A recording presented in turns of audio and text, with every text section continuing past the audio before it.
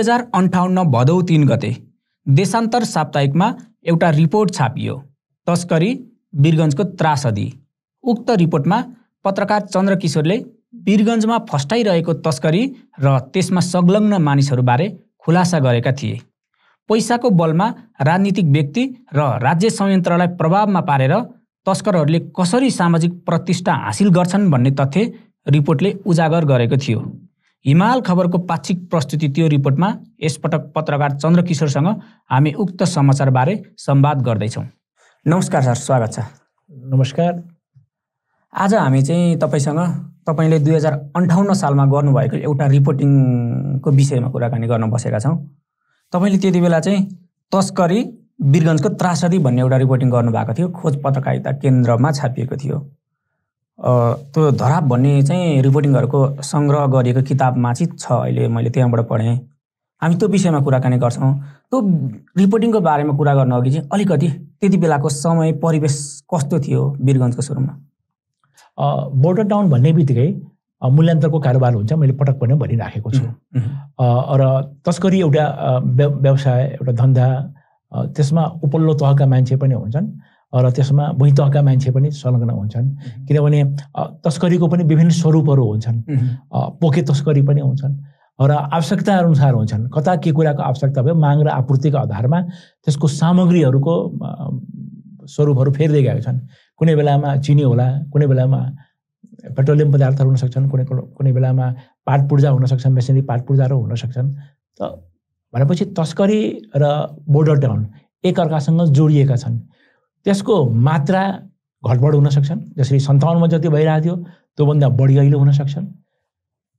किनभने त्यस पश्चात नेपाली राज्यले यो चुहाबटलाई वा बोर्डर खुला सीमाका कारणले हुने अवैध कारोबारलाई नियन्त्रण गर्न चाहिँ अन्य संस्थाहरू पनि स्थापनाहरू गर्दै गएका छन्। जसरी राजस्व अनुसन्धानको स्थापना भयो सशस्त्र प्रहरीको स्थापना भयो एजेन्सीहरू बढ्दै गए। र भन्सारलाई पनि व्यवस्थित पार्ने प्रयत्नहरू पनि भएको छन्। तर यी सबका बावजुद के तस्करी जुन सन्ताउन्न अन्ठाउन्नमा मैले लेखेँ त्यो तस्करी समाप्त भयो कि त्यसका त्यसका प्रक्रियाहरू फेरियो? त्यसका तरिकाहरू फेरिएर आयो। यो अहिलेको अडियन्स अहिलेको समाजले बुझ्नुपर्ने हुन्छन्। किनभने राज्यले त्यो अनुसारमा समानान्तरमा तयारीहरू गर्दै गइरहेका छन्। चुहावट कम होस् चुहावट हुने पालहरूलाई चाहिँ टाल्ने प्रयत्नहरू गर्दै गएका छन्। कि तस्करी यस्तो प्रक्रिया भयो सीमा कारोबारमा क्षेत्रमा हुने अवैध कारोबार यस्तो हुँदै गयो कि उसले राज्यका सबै तन्त्रहरूलाई आफैभित्र निल्दै गएका छन् कि सबैलाई भ्रष्टीकृत गर्दै गएका छन् कि? सीमा क्षेत्रमा काम गर्नेहरू सबै बैमान हुन्छन् कि त्यहाँका सबै कारोबारी भ्रष्ट र अवैध कारोबारी गर्ने हुन् कि त्यहाँका सिभिल सोसाइटीका मान्छेहरू त्यसैको संलग्नतामा बाँचेका हुन् कि? त्यहाँ फरक मत राख्नेहरू पनि छन्। त्यहाँ असल मान्छेहरू पनि छन्। वा खराब गर्नेहरूले असल गर्नेहरूलाई ओझलमा पार्न थालेका छन्। त्यसलाई हामीले कोट्याउनु पर्ने हुन्छन् अनि समाजको विकासक्रमलाई हामीले हेर्न पाउँछौँ। मलाई लाग्छन् तस्करी आज पनि भइराखेको छ हिजो पनि भइराखेको थियो। एउटा इमान्दार अफिसर पुगेपछि त्यो त्यो साँगुरिएर आउँछन्। त्यसका बाटाहरू प्रक्रियाहरू फरक हुन्छन्। पूर्णत बन्द हुँदैनन्। भएको छैनन्। खुला सीमा रहेसम्म त सम्भव पनि छैनन्। तर चनाखो भएको राज्यले चनाखो भएको नागरिक समाजले चनाखो भएको उद्योगी र व्यवसायीहरू व्यवसायीहरूले त्यसलाई कसरी चाहिँ न्यून पार्न सक्छन्? त्यो महत्त्वपूर्ण पक्ष हो। जस्तो मैले आजभन्दा सन्ताउन्न भएपछि कति वर्ष पहिलाको स्टोरी हो त्यो? भयो सर सन्ताउन्न अन्ठाउन्न भनेपछि त तेइस चौबिस वर्षै भयो। अब भनौँ न अब हामी तेइस चौबिस वर्षमा हामीले व्यवस्थाहरू परिवर्तन गऱ्यौँ। कानुनहरू धेरै नियमनहरू गर्दै गयौँ। सुरक्षा बलहरू बढी सङ्ख्यामा हामी तैनात गर्दै गइराखेका छौँ। सजगताहरू बढेका छन्। र सँगसँगै प्यारलमा अब व्यवस्थित बाटाहरू बन्दैछन् पहिला व्यवस्थित बाटाहरू एउटा थियो भने अब अन्य बाटाहरू पनि खुलेका छन्। पहिला कुनै एउटा ठाउँ चाहिँ एउटा भन्सार बिन्दु चाहिँ बढी चाहिँ विवादित थियो वा बढी चिनिएको थियो। यो ठाउँ त अवैध कारोबारको लागि चिनिएको हो। प्यारलमा अन्यत्रतिर पनि तस्करीका क्रमहरू मोडिए कि किनभने काठमाडौँ आउनको लागि वा पहाडका जिल्लामा सामान पुर्याउनको लागि वा तराईकै जिल्लामा दक्षिणको सामग्रीहरू उत्तरतिर पठाउनको लागि चाहिँ अब खालि वीरगन्जकै बाटोलाई मुक्त गर्नुपर्ने अवस्था छैन। उम्, वीरगञ्ज भनेको पर्सा जिल्लाको एउटा पूर्वी र दक्षिणी एउटा स्थान बिन्दु हो। तर पर्सा जिल्लाको अन्य ठाउँहरूमा पनि बाटाघाटाहरू सहज भएका छन्। र अन्य जिल्लाहरूमा पनि पहाडका जिल्लाहरूसँग जोडिने काठमाडौँको जिल्लाहरूसँग जोड्ने पूर्व पश्चिम हाइवे छ त्योसँग जोड्ने बाटाहरू सहज भएका छन्। र त्यसले गर्दा राति राति पनि कारोबारहरू भइरहेछन् ट्रकहरू गुज्रिराखेका छन् र विभिन्न समयमा विभिन्न प्रकारका सामग्रीहरूको चलखेलहरू भइरहेछन्। हामी केवल तस्करी र अवैध कारोबारले नै लिने हो भने कुनै समयमा कुनै का कालखण्डमा फरक फरक सामानहरू होलान्।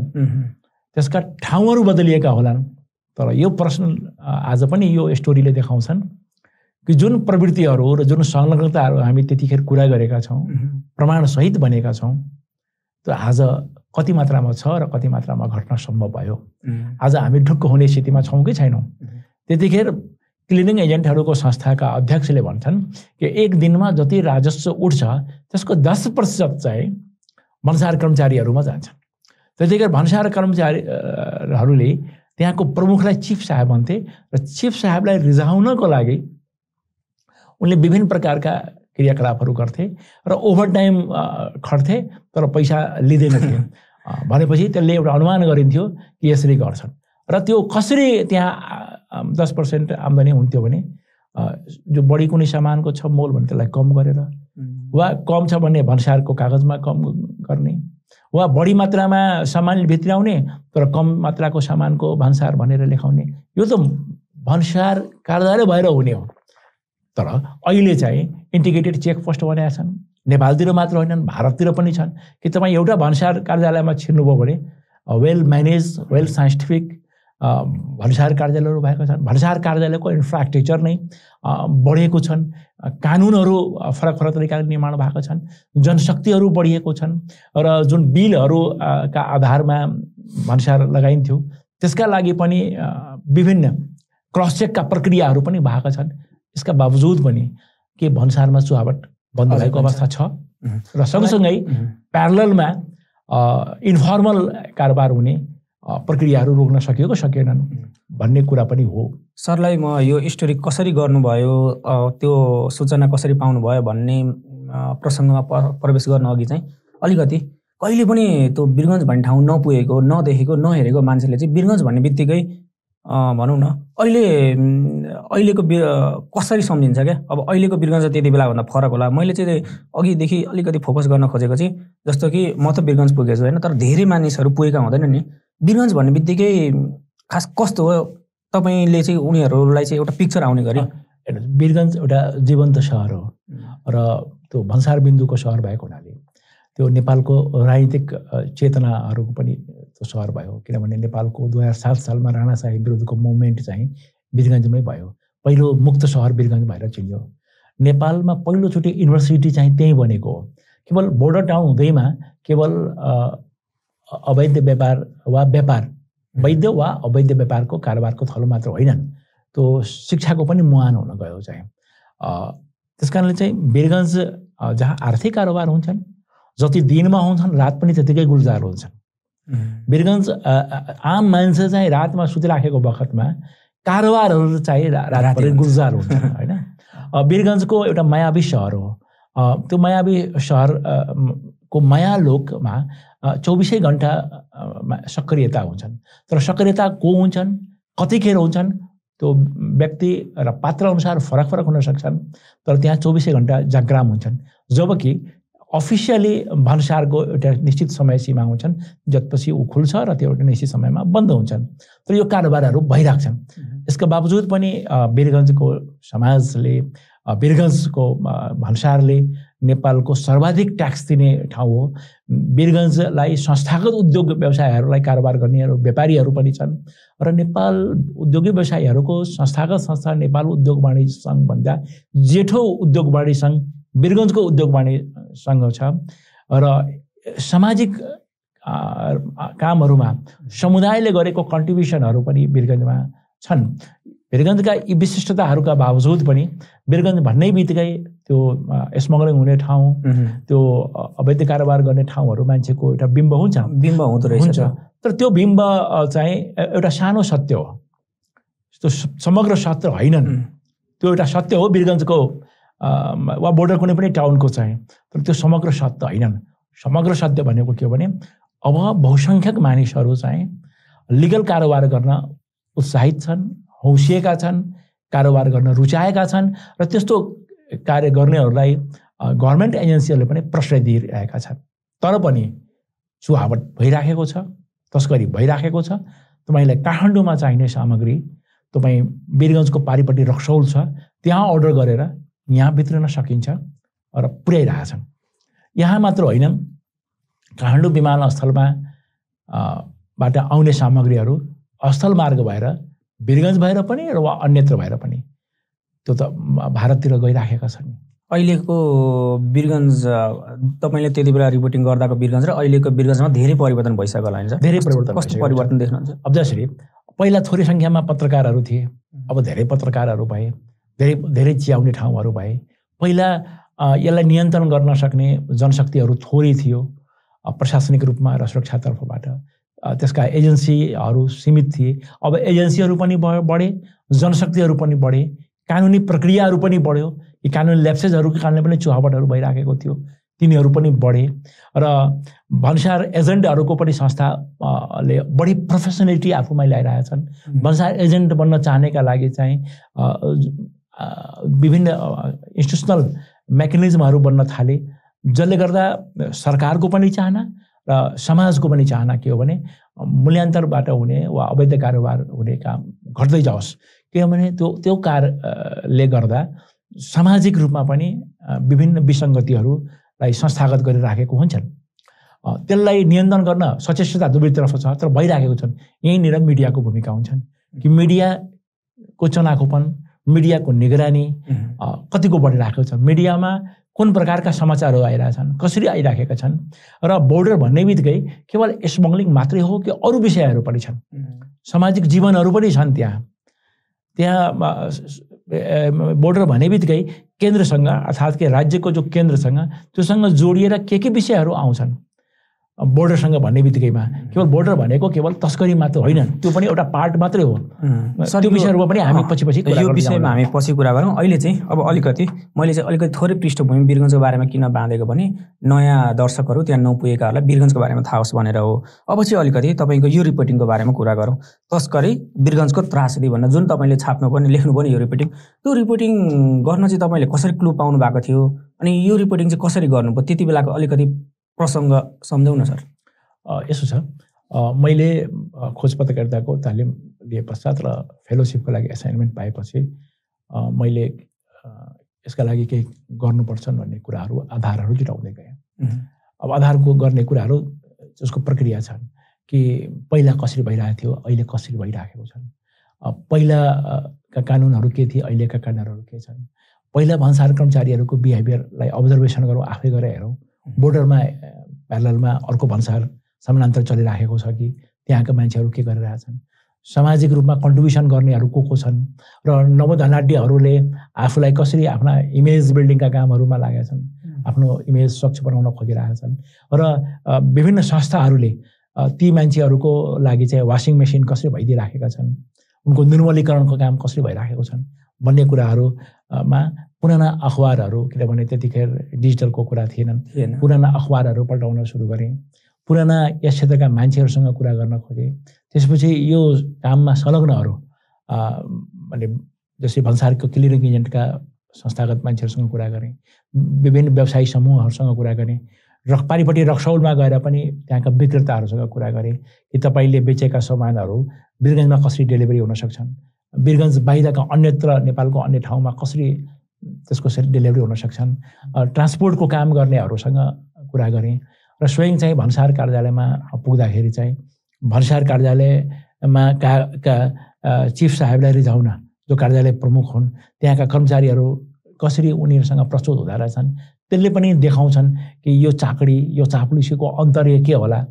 एउटा कनिष्ठ कर्मचारीले वरिष्ठ कर्मचारीलाई आफूभन्दा सम्मान गर्नु एउटा अर्को कुरा हो। त्यो कार्यालयको अनुशासन र गरिमाभित्रको कुराहरू हो। तर त्योभन्दा अतिरिक्त छ कि अतिरिक्त अपेक्षाहरू छन् कि त्यो अब्जर्भेसन गरेर पाइन्छन्। एक दिन मात्र होइनन्। कैयौँ दिनको अनुगमनबाट त्यहाँ बोर्डरमा खटिएका कर्मचारीहरू वा जसले चाहिँ फारमहरू भर्ने गर्छन् तिनीहरूको प्रस्तुति यो र जुन रेस्टुरेन्टहरू खोलेको छन्। त्यो रेस्टुरेन्टहरूमा कस्ता मान्छेहरू पुग्छन्। त्यहाँ सुरक्षा जुन निकायहरू छन् चाहे प्रहरीतिर होस् वा यता केही दिन नेपाली सेनालाई पनि दिएको थियो। प्रशासनका मान्छेहरू यो लाइन खुल्यो र लाइन बन्द भयो। यसको अर्थ के हो? कसरी लाइन खुल्छन्? त्यसको लागि लोबिङ कसले गर्छन्? लाइन खुल्नुको अर्थभित्र के के कुराहरू समावेश हुन्छन्? जब भन्सार भएर सामान आइराखेको छ भने त्यहाँ चुहावट हुने प्रक्रियाहरू त एउटा भयो। तर भन्सार बाहिर इलिगल तरिकाले सामानहरूको आवागमन भइरहेछ। नेपालबाट भारत गइरहेछ भारतबाट नेपाल आइरहेछ भने त्यसलाई लाइन खोल्नु भन्छ भने त्यो लाइन खोल्नमा कसको कारणले कसले चाहिँ त्यो हैसियत राख्छन् कि लाइन खोल्छन्? त्यसमा कस कसको सहभागिता हुन्छन्? को सहभागी भएन भने सूचना चुहिन्छन्? को सहभागी भयो भने सूचना लुकाइन्छन् र नयाँ अफिसरहरू आउँदाखेरि त्यसको दर रेट के हुन्छन् लाइन खोलाउनको लागि चाहिँ। कुनै तस्कर विशेषहरू एक्लै लाग्छन् कि सङ्गठित रूपमा प्रयत्न गर्छन् भन्ने कुराहरू त्यहीँका स्थानीय त्यतिखेरका समाचारहरू जो पत्रमा छापिन्थे पुराना अखबारहरू पढेँ पुराना भन्सारका कर्मचारीहरू पढेँ त्यसले एउटा पिक्चराइज भइराखेको थियो र मैले एउटा कन्सेप्ट बनाएँ। त्यो कन्सेप्टबाट चाहिँ मैले अब यसलाई प्रमाणसहित किन खोज पत्रकारिताको लागि गर्नु भएपछि त्यसै अनुमानको भरमा सिधै कथा सुनाए जस्तो भनेर त भएन। भएन। त्यसको लागि त प्रमाण चाहियो। चुनौती आउन सक्छन् अर्को ठाउँबाट। त्यो त्यो चुनौतीहरूले भन्दा पनि जसरी तपाईँले पटक पटक मलाई भनिराख्नु भएको छ वीरगन्जको पिक्चराइज गर्नुहोस्। म स्टोरी लेख्दै जाँदाखेरि एउटा पाठकले एउटा सरकारवाला निकायका मान्छेले आफै बुझ्न सकुन्। कि ए यहाँनिर ल्याप्सेस हुँदो रहेछन्। यसरी चाहिँ अनियमितता हुँदो रहेछन्। यसरी चाहिँ विथेती र विसङ्गतिहरू फैलिएका छन्।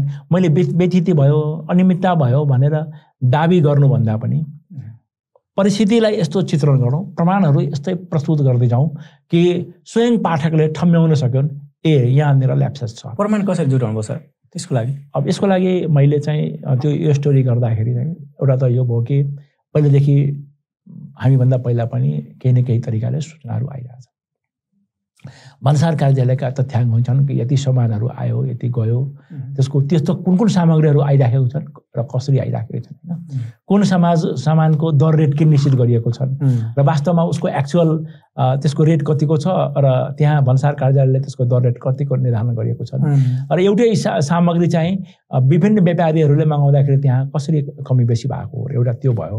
अर्को वीरगन्ज भन्सार र अन्य छोटी भन्सारहरूको बिचमा पनि गाडीहरूको आवागमन भइरहेछ भने उनीहरू के सामान लिएर गइरहेछन्? दिउँसै वा समसामझै परेको बेलामा वा बिहानै अन्ध्यारोमा छिपछिपे अन्ध्यारोको बेलामा चाहिँ मान्छेहरूको ताती लागेको छ र उनीहरू पोको बोकेका छन् भने त्यो पोकामा के सामान कुन गोदाममा कहाँसम्म पुर्याउँदा रहेछन् भन्ने कुराहरूको नोटिस गरेर उनीहरूसँग कुरा गर्यो भने ए यो कुरोको पो तस्करी खोल्न ला भइराखेको छन्।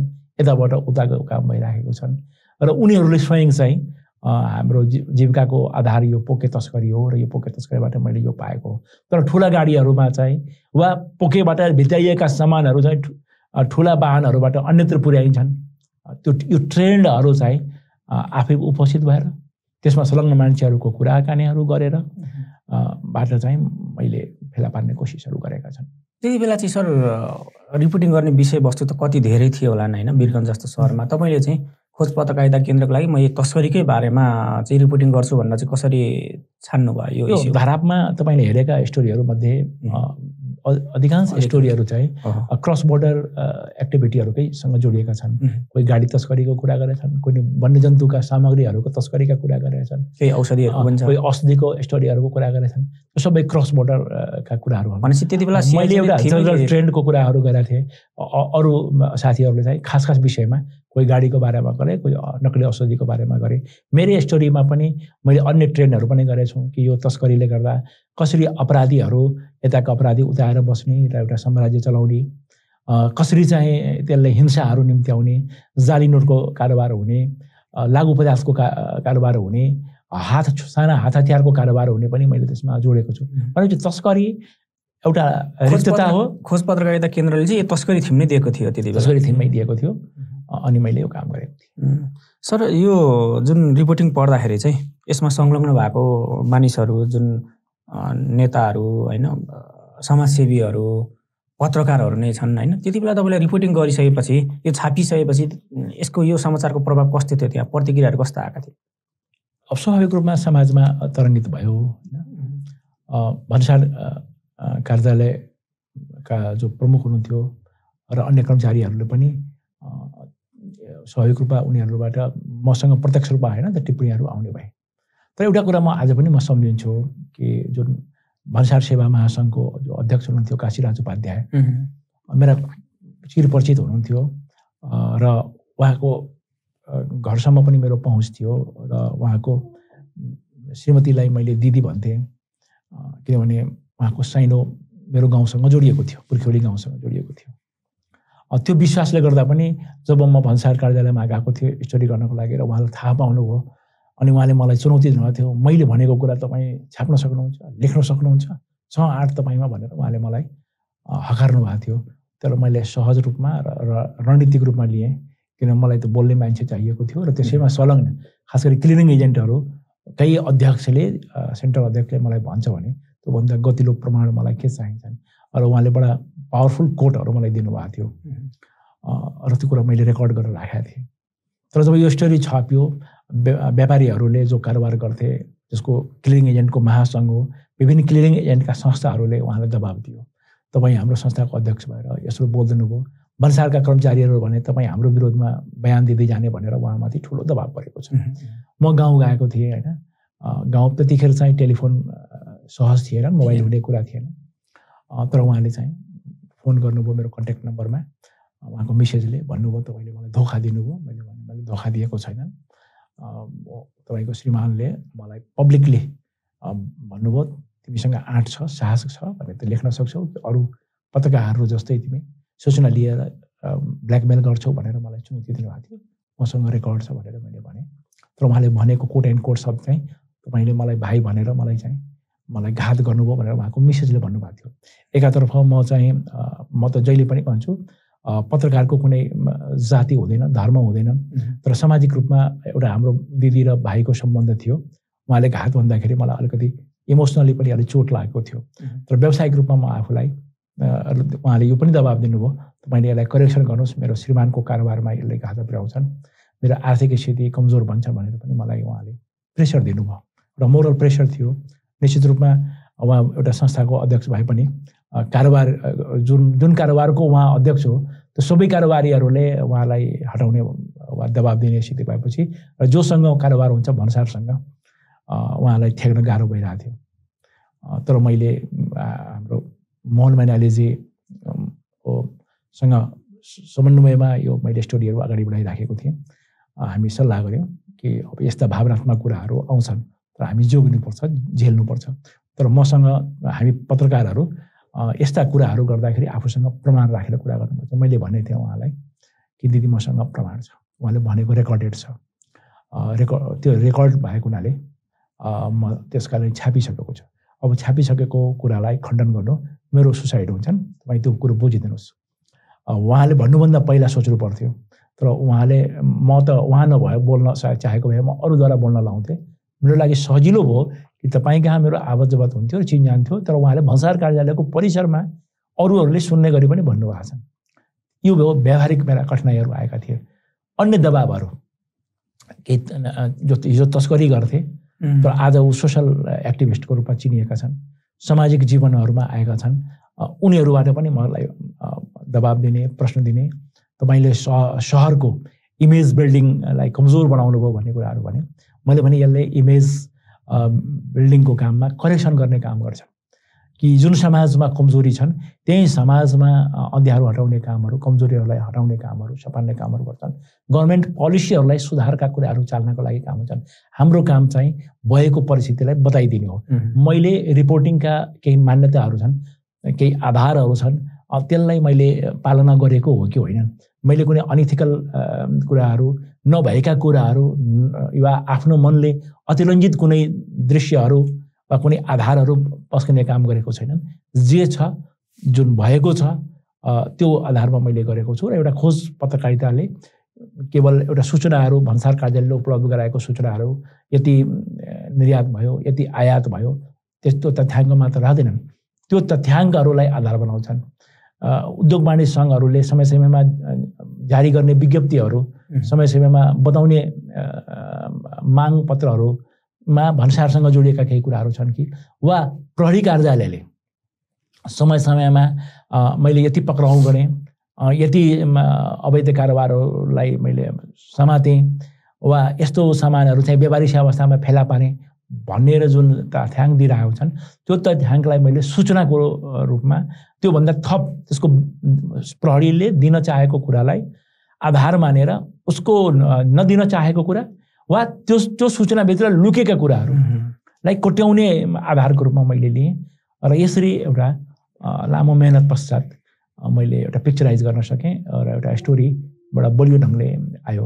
यसको त्यो जुन प्रतिक्रियाहरूको कुरा भयो होइन अलिकति प्रभाव केही भयो त्यहाँ? समाचार छापिसकेपछि?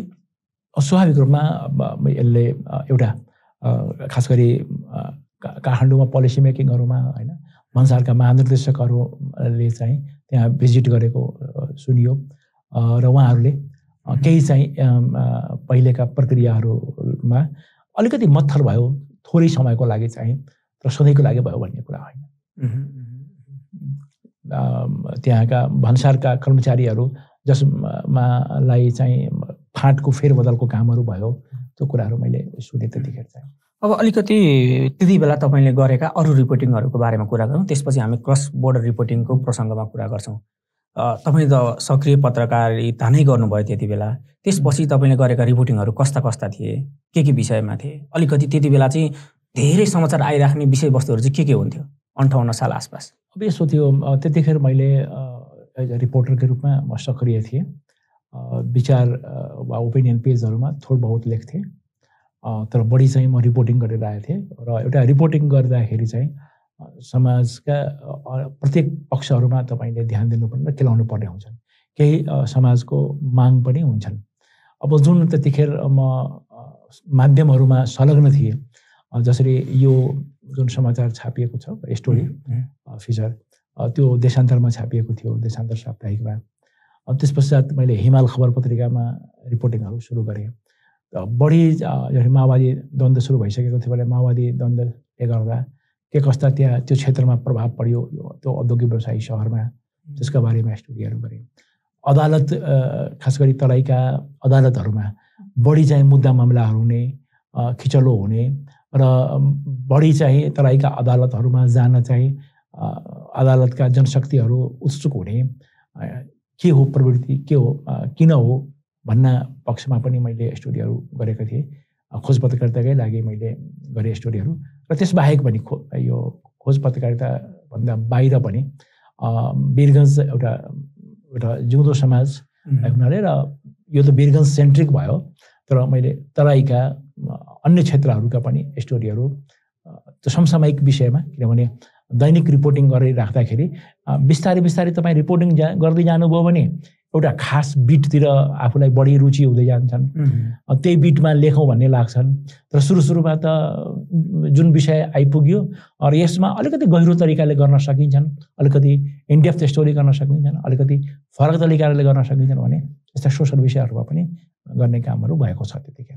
त्यति बेला गरेको केही अलिकति तपाईँ आफैलाई चाहिँ मैले चाहिँ यो राम्रो गरेँ भन्ने केही स्टोरीहरू सम्झन सक्नुहुन्छ अहिले? छ। जसले कि नागरिकताको बारेमा मैले गरेको स्टोरीहरू त्यतिखेर पनि।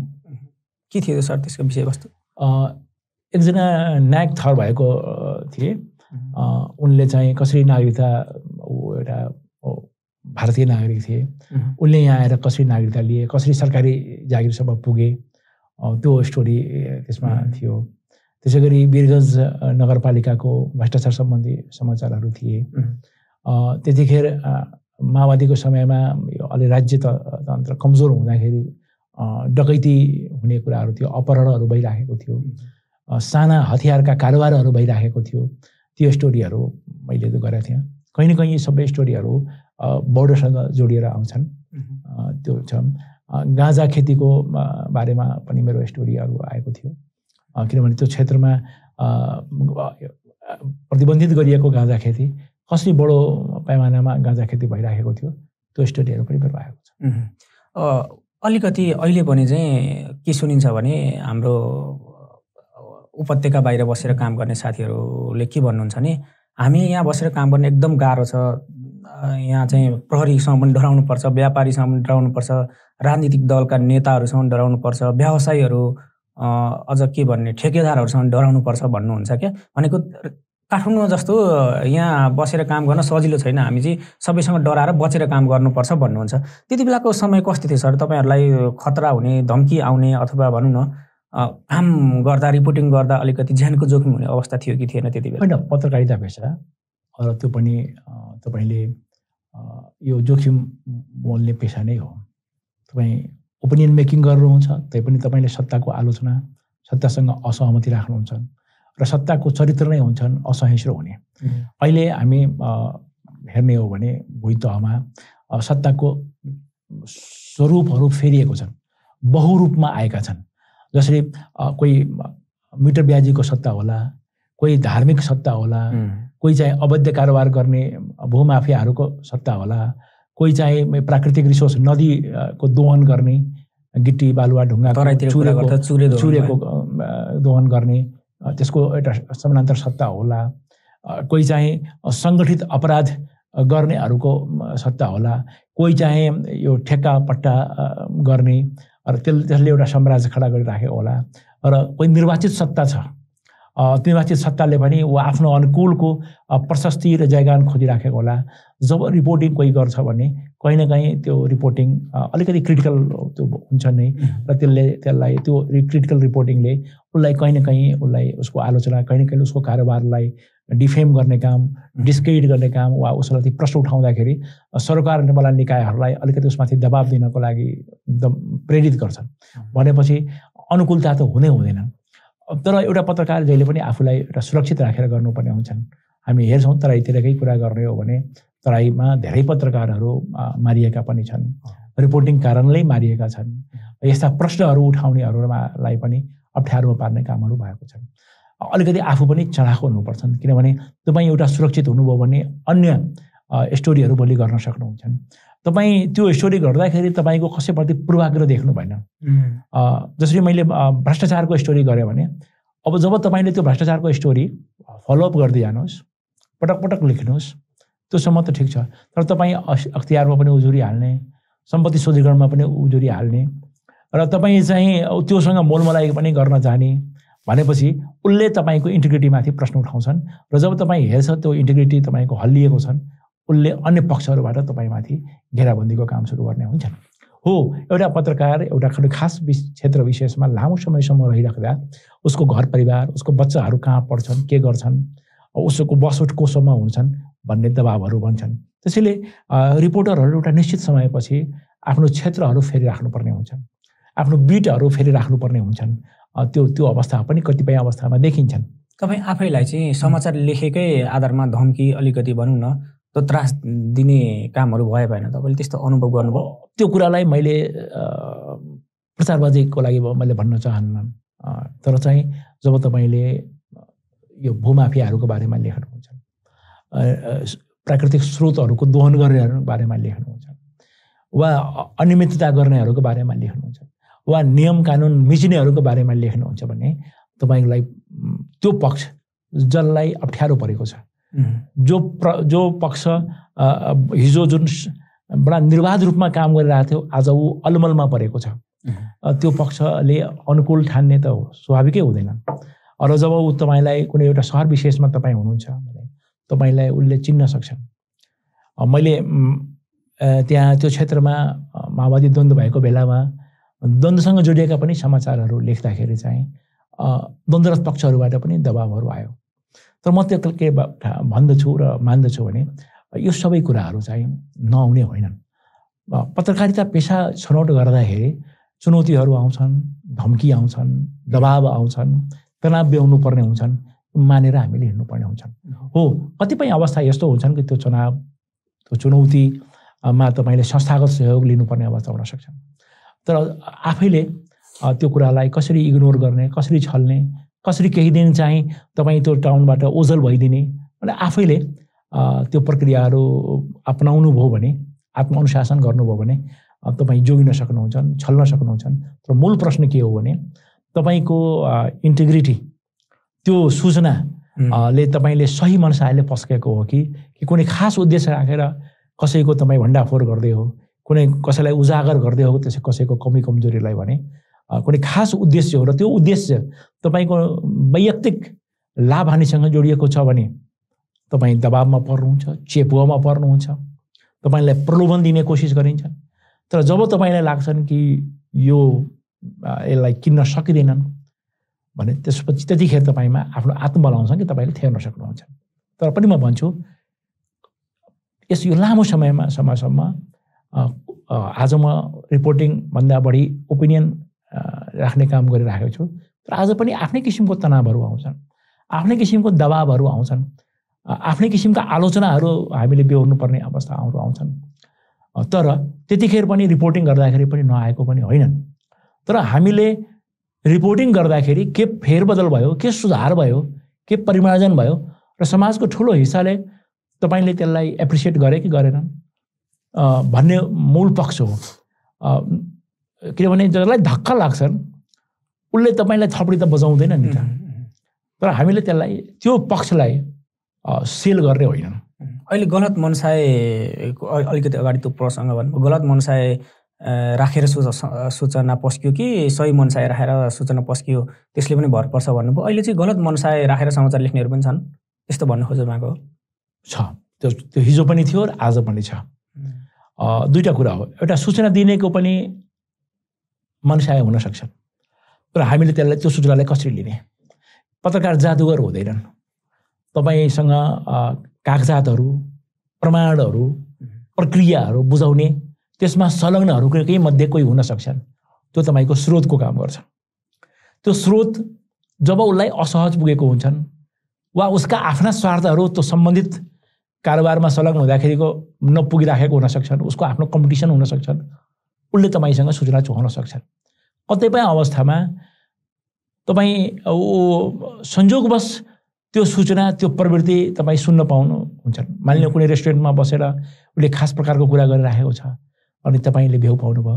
वा हुनसक्छन् कुनै यस्तो कार्यक्रममा जानुभयो जहाँ उसले चाहिँ बिहामा जानुभयो जन्तीमा जानुभयो उसले सहज रूपमा आफ्नो कुराहरू बताइराखेको छ तर तपाईँ पत्रकारले त्यो कुरा नोटिसमा लिनुभयो। ए यो कसरी भयो? ए उसले त यस्तो बताइरहेको थियो। त्यसलाई एउटा आधार आउँछन् कि खोज्दै जाने। एउटा त सूचना दिनेले कुनै न कुनै मनसाय राखेको हुन्छन् तर तपाईँ जसले त्यसलाई आफ्नो तरिकाले प्रयोग गर्ने हो त्यो तपाईँमा निर्भर गर्छन् कि त्यो कुन मात्रामा आएको छन् कति प्रभावकारी रूपमा आएको छन् कि एउटा सुईकोसम्म मात्र हो त्यो तपाईँले जान्ने हो। दोस्रो जसले समाचार लेखिरहेको छ अहिले त माध्यमहरू फेरिए। कुनै जमानामा प्रिन्ट थियो अब त डिजिटल माध्यमहरू आए भर्चुअल माध्यमहरू आए। तपाईँले त्यसलाई अब त त्यसलाई कसरी र किन प्रस्तुत गरिराख्नु भएको छ?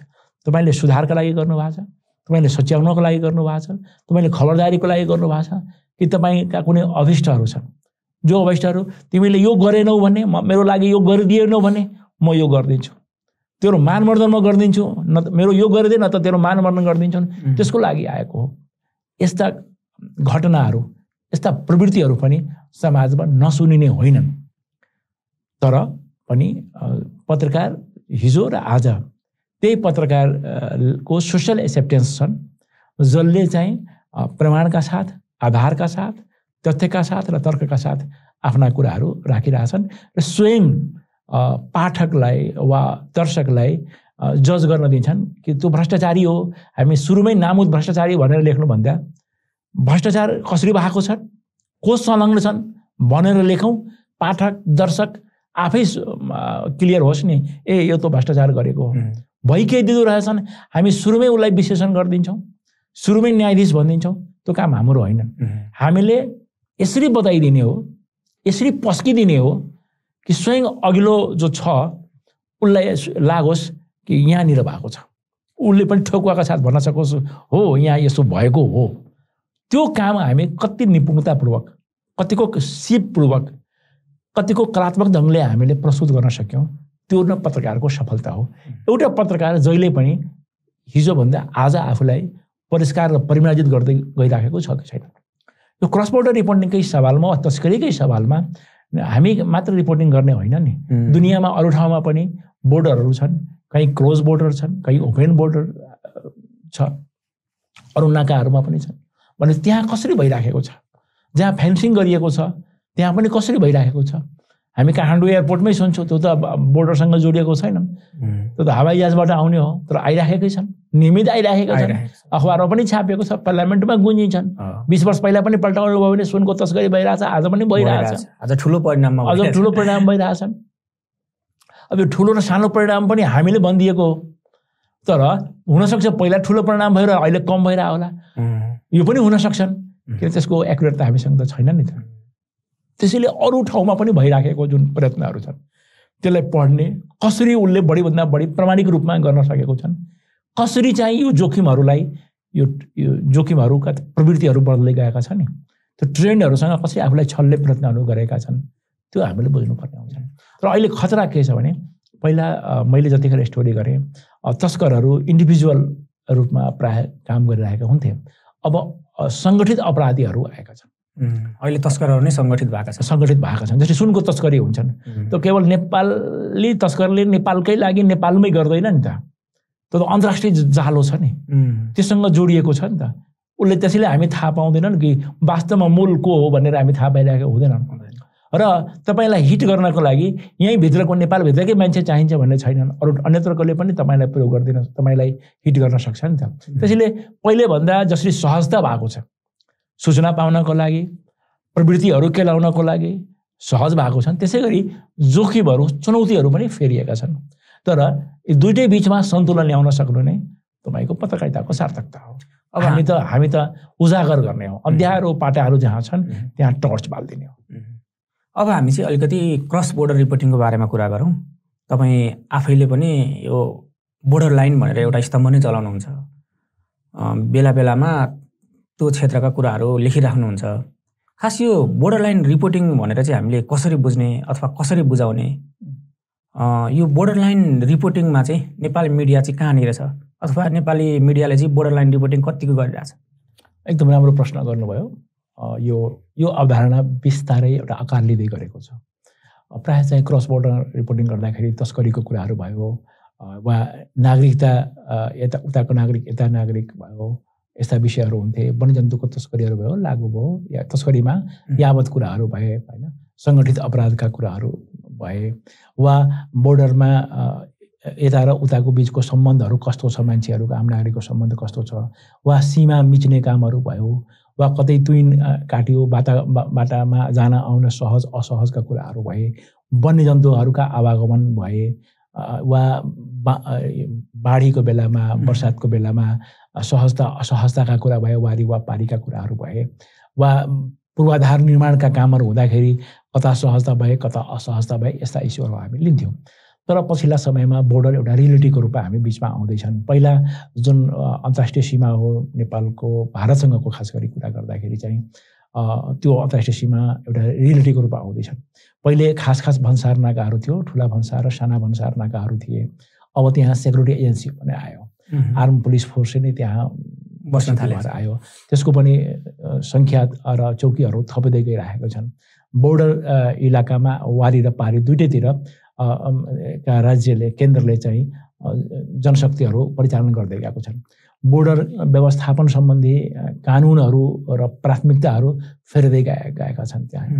बोर्डर क्षेत्रमा कनेक्टिभिटीहरू बढ्दै गएको छन्। तर यसका बावजुद पनि कस्ता प्रकारका समाचारहरू आउँदैछन्? एउटा खासै प्रवृत्तिको समाचारहरू आइरहेको छन्।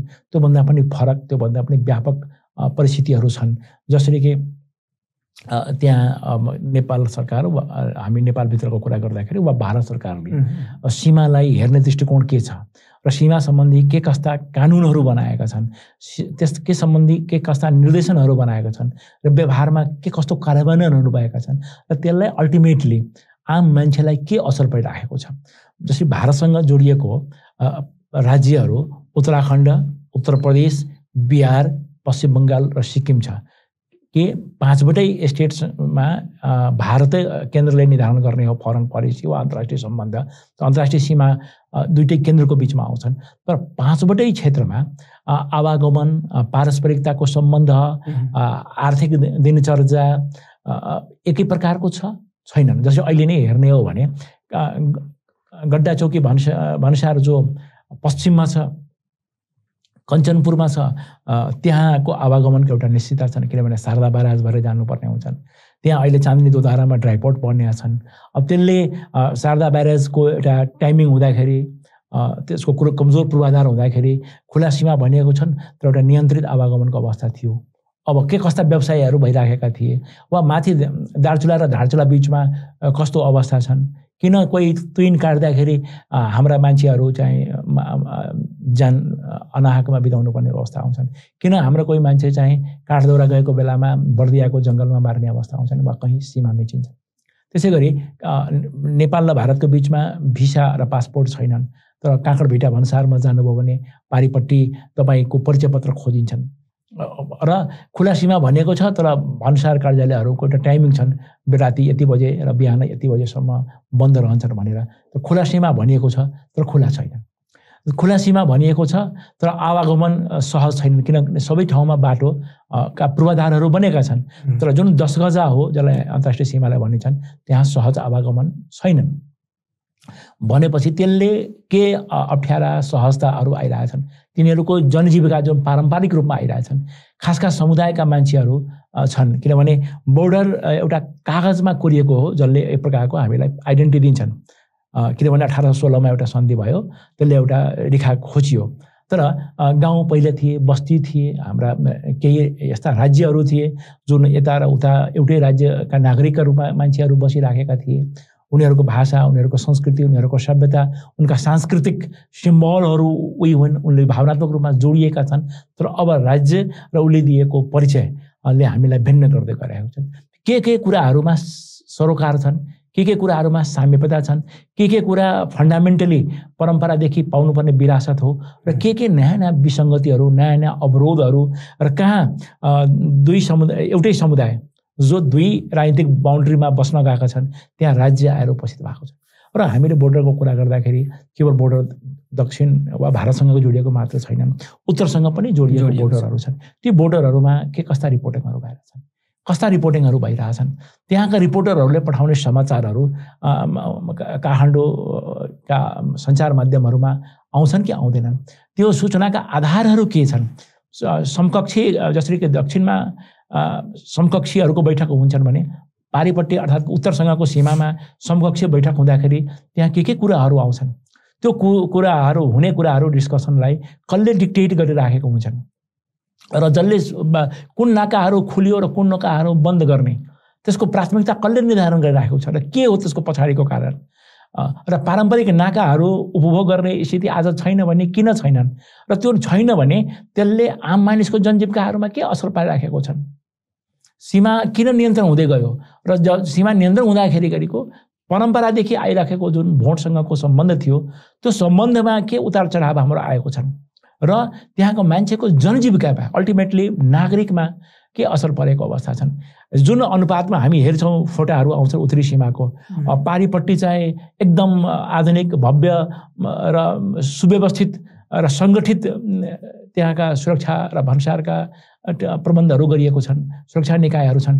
हामी कहाँ त्यो अनुपातको छ कि छैनन्? र त्यो नहुँदाखेरिको ल्याप्सेसहरू हाम्रो सार्वभौमिकता सङ्कुचनमा परेको अवस्थाहरू छन् कि? त्यो सार्वभौमिकताप्रतिको सजगता जसरी दक्षिणतिरको बोर्डरमा हुनुपर्छन् त्यो उत्तरतिरको बोर्डरमा छ कि छैनन्? त्यहाँ त्यहाँसम्म सूचनाको पहुँच छ कि छैनन्? स्वयं पत्रकारहरू त्यो दुर्गम ठाउँहरूमा जाने स्थितिमा छ कि छैनन्? मानव बसोबासहरूको बनोट र बसोबास। जसरी भारतसँग जोडिएको सीमामा जनघनत्व पनि बढी छन् डाइभर्सिटी पनि बढी छन् र ती सूचनाहरू कुनै न कुनै रूपमा आइराखेका हुन्छन्। त्यो राम्रा कुराहरू पनि बेस्ट प्र्याक्टिसहरू पनि आइराखेका हुन्छन् कमजोर ल्याप्सेसहरू पनि आइराखेका हुन्छन्। त्यसै गरी उत्तरतिरको सीमाका मान्छेहरूको कुराहरू आउँछन् कि आउँदैनन्? आउँदाखेरि अ, मा अप्ठ्यारो छ भने त्यो हाम्रा आन्तरिक अप्ठ्याराहरू छन् कि पारिपट्टिको कारणले त्यो भएका अप्ठ्याराहरू हुन्। यसको बारेमा जुन घनत्वमा आउनुपर्ने हो त्यो भइराखेको छैन।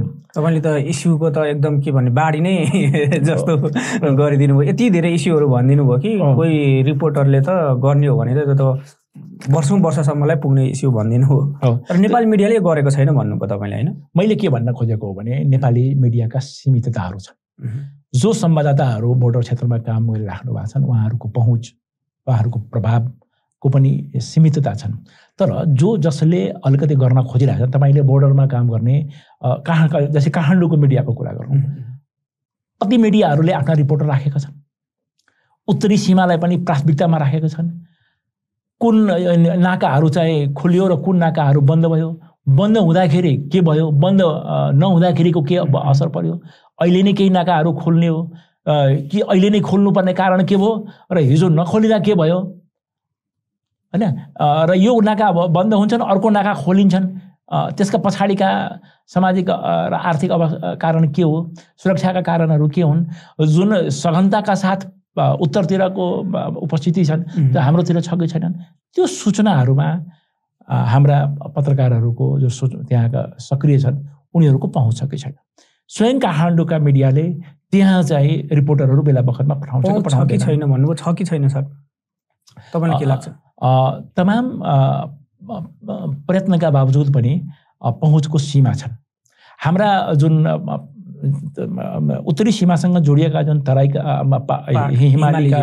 दुर्गम हिमालीका जिल्ला छन् त्यो जिल्लाको भू बनोट होइन भन्दाखेरि त्यो जिल्लाको उत्तरी सीमा हो तर सदरमुकाम वा वा सँग त्यो त्यसको टाढापन त्यसको दुर्गमता त्यहाँ। स्वयं हाम्रा प्रशासनिक जुन केन्द्रहरू छन् हाम्रा यहाँ हाम्रा जुन राज्यको उपस्थिति लिएर बसेको प्रमुख जिल्ला अधिकारी वा सेक्युरिटी एजेन्सीका मान्छेहरूको त्यो आफ्नै उत्तरी सीमासँग कतिको त्यहाँ पहुँच छन् र आम बासिन्दा जो त्यहाँका रैथाने बासिन्दा छन् उनीसँग भएको पारम्परिक अनुभव वा इन्डिजिनियस नलेज वा आर्थिक गतिविधिसँग जोडिएका उनका आफ्ना आफ्नै स्टोरीहरूमा के भिन्नता आयो के अवरोध आयो र त्यसको आफ्नै प्रशासनिक इकाइका मान्छेहरूलाई बताउन सक्ने स्थितिमा छ कि छैन?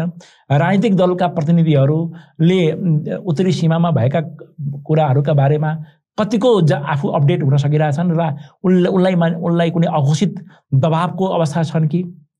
त्यो कुराहरू छन्। मलाई के लाग्छ भने पहिलेभन्दा उत्तरी सीमाका बारेमा पनि सूचनाहरू आउन थालेका छन्।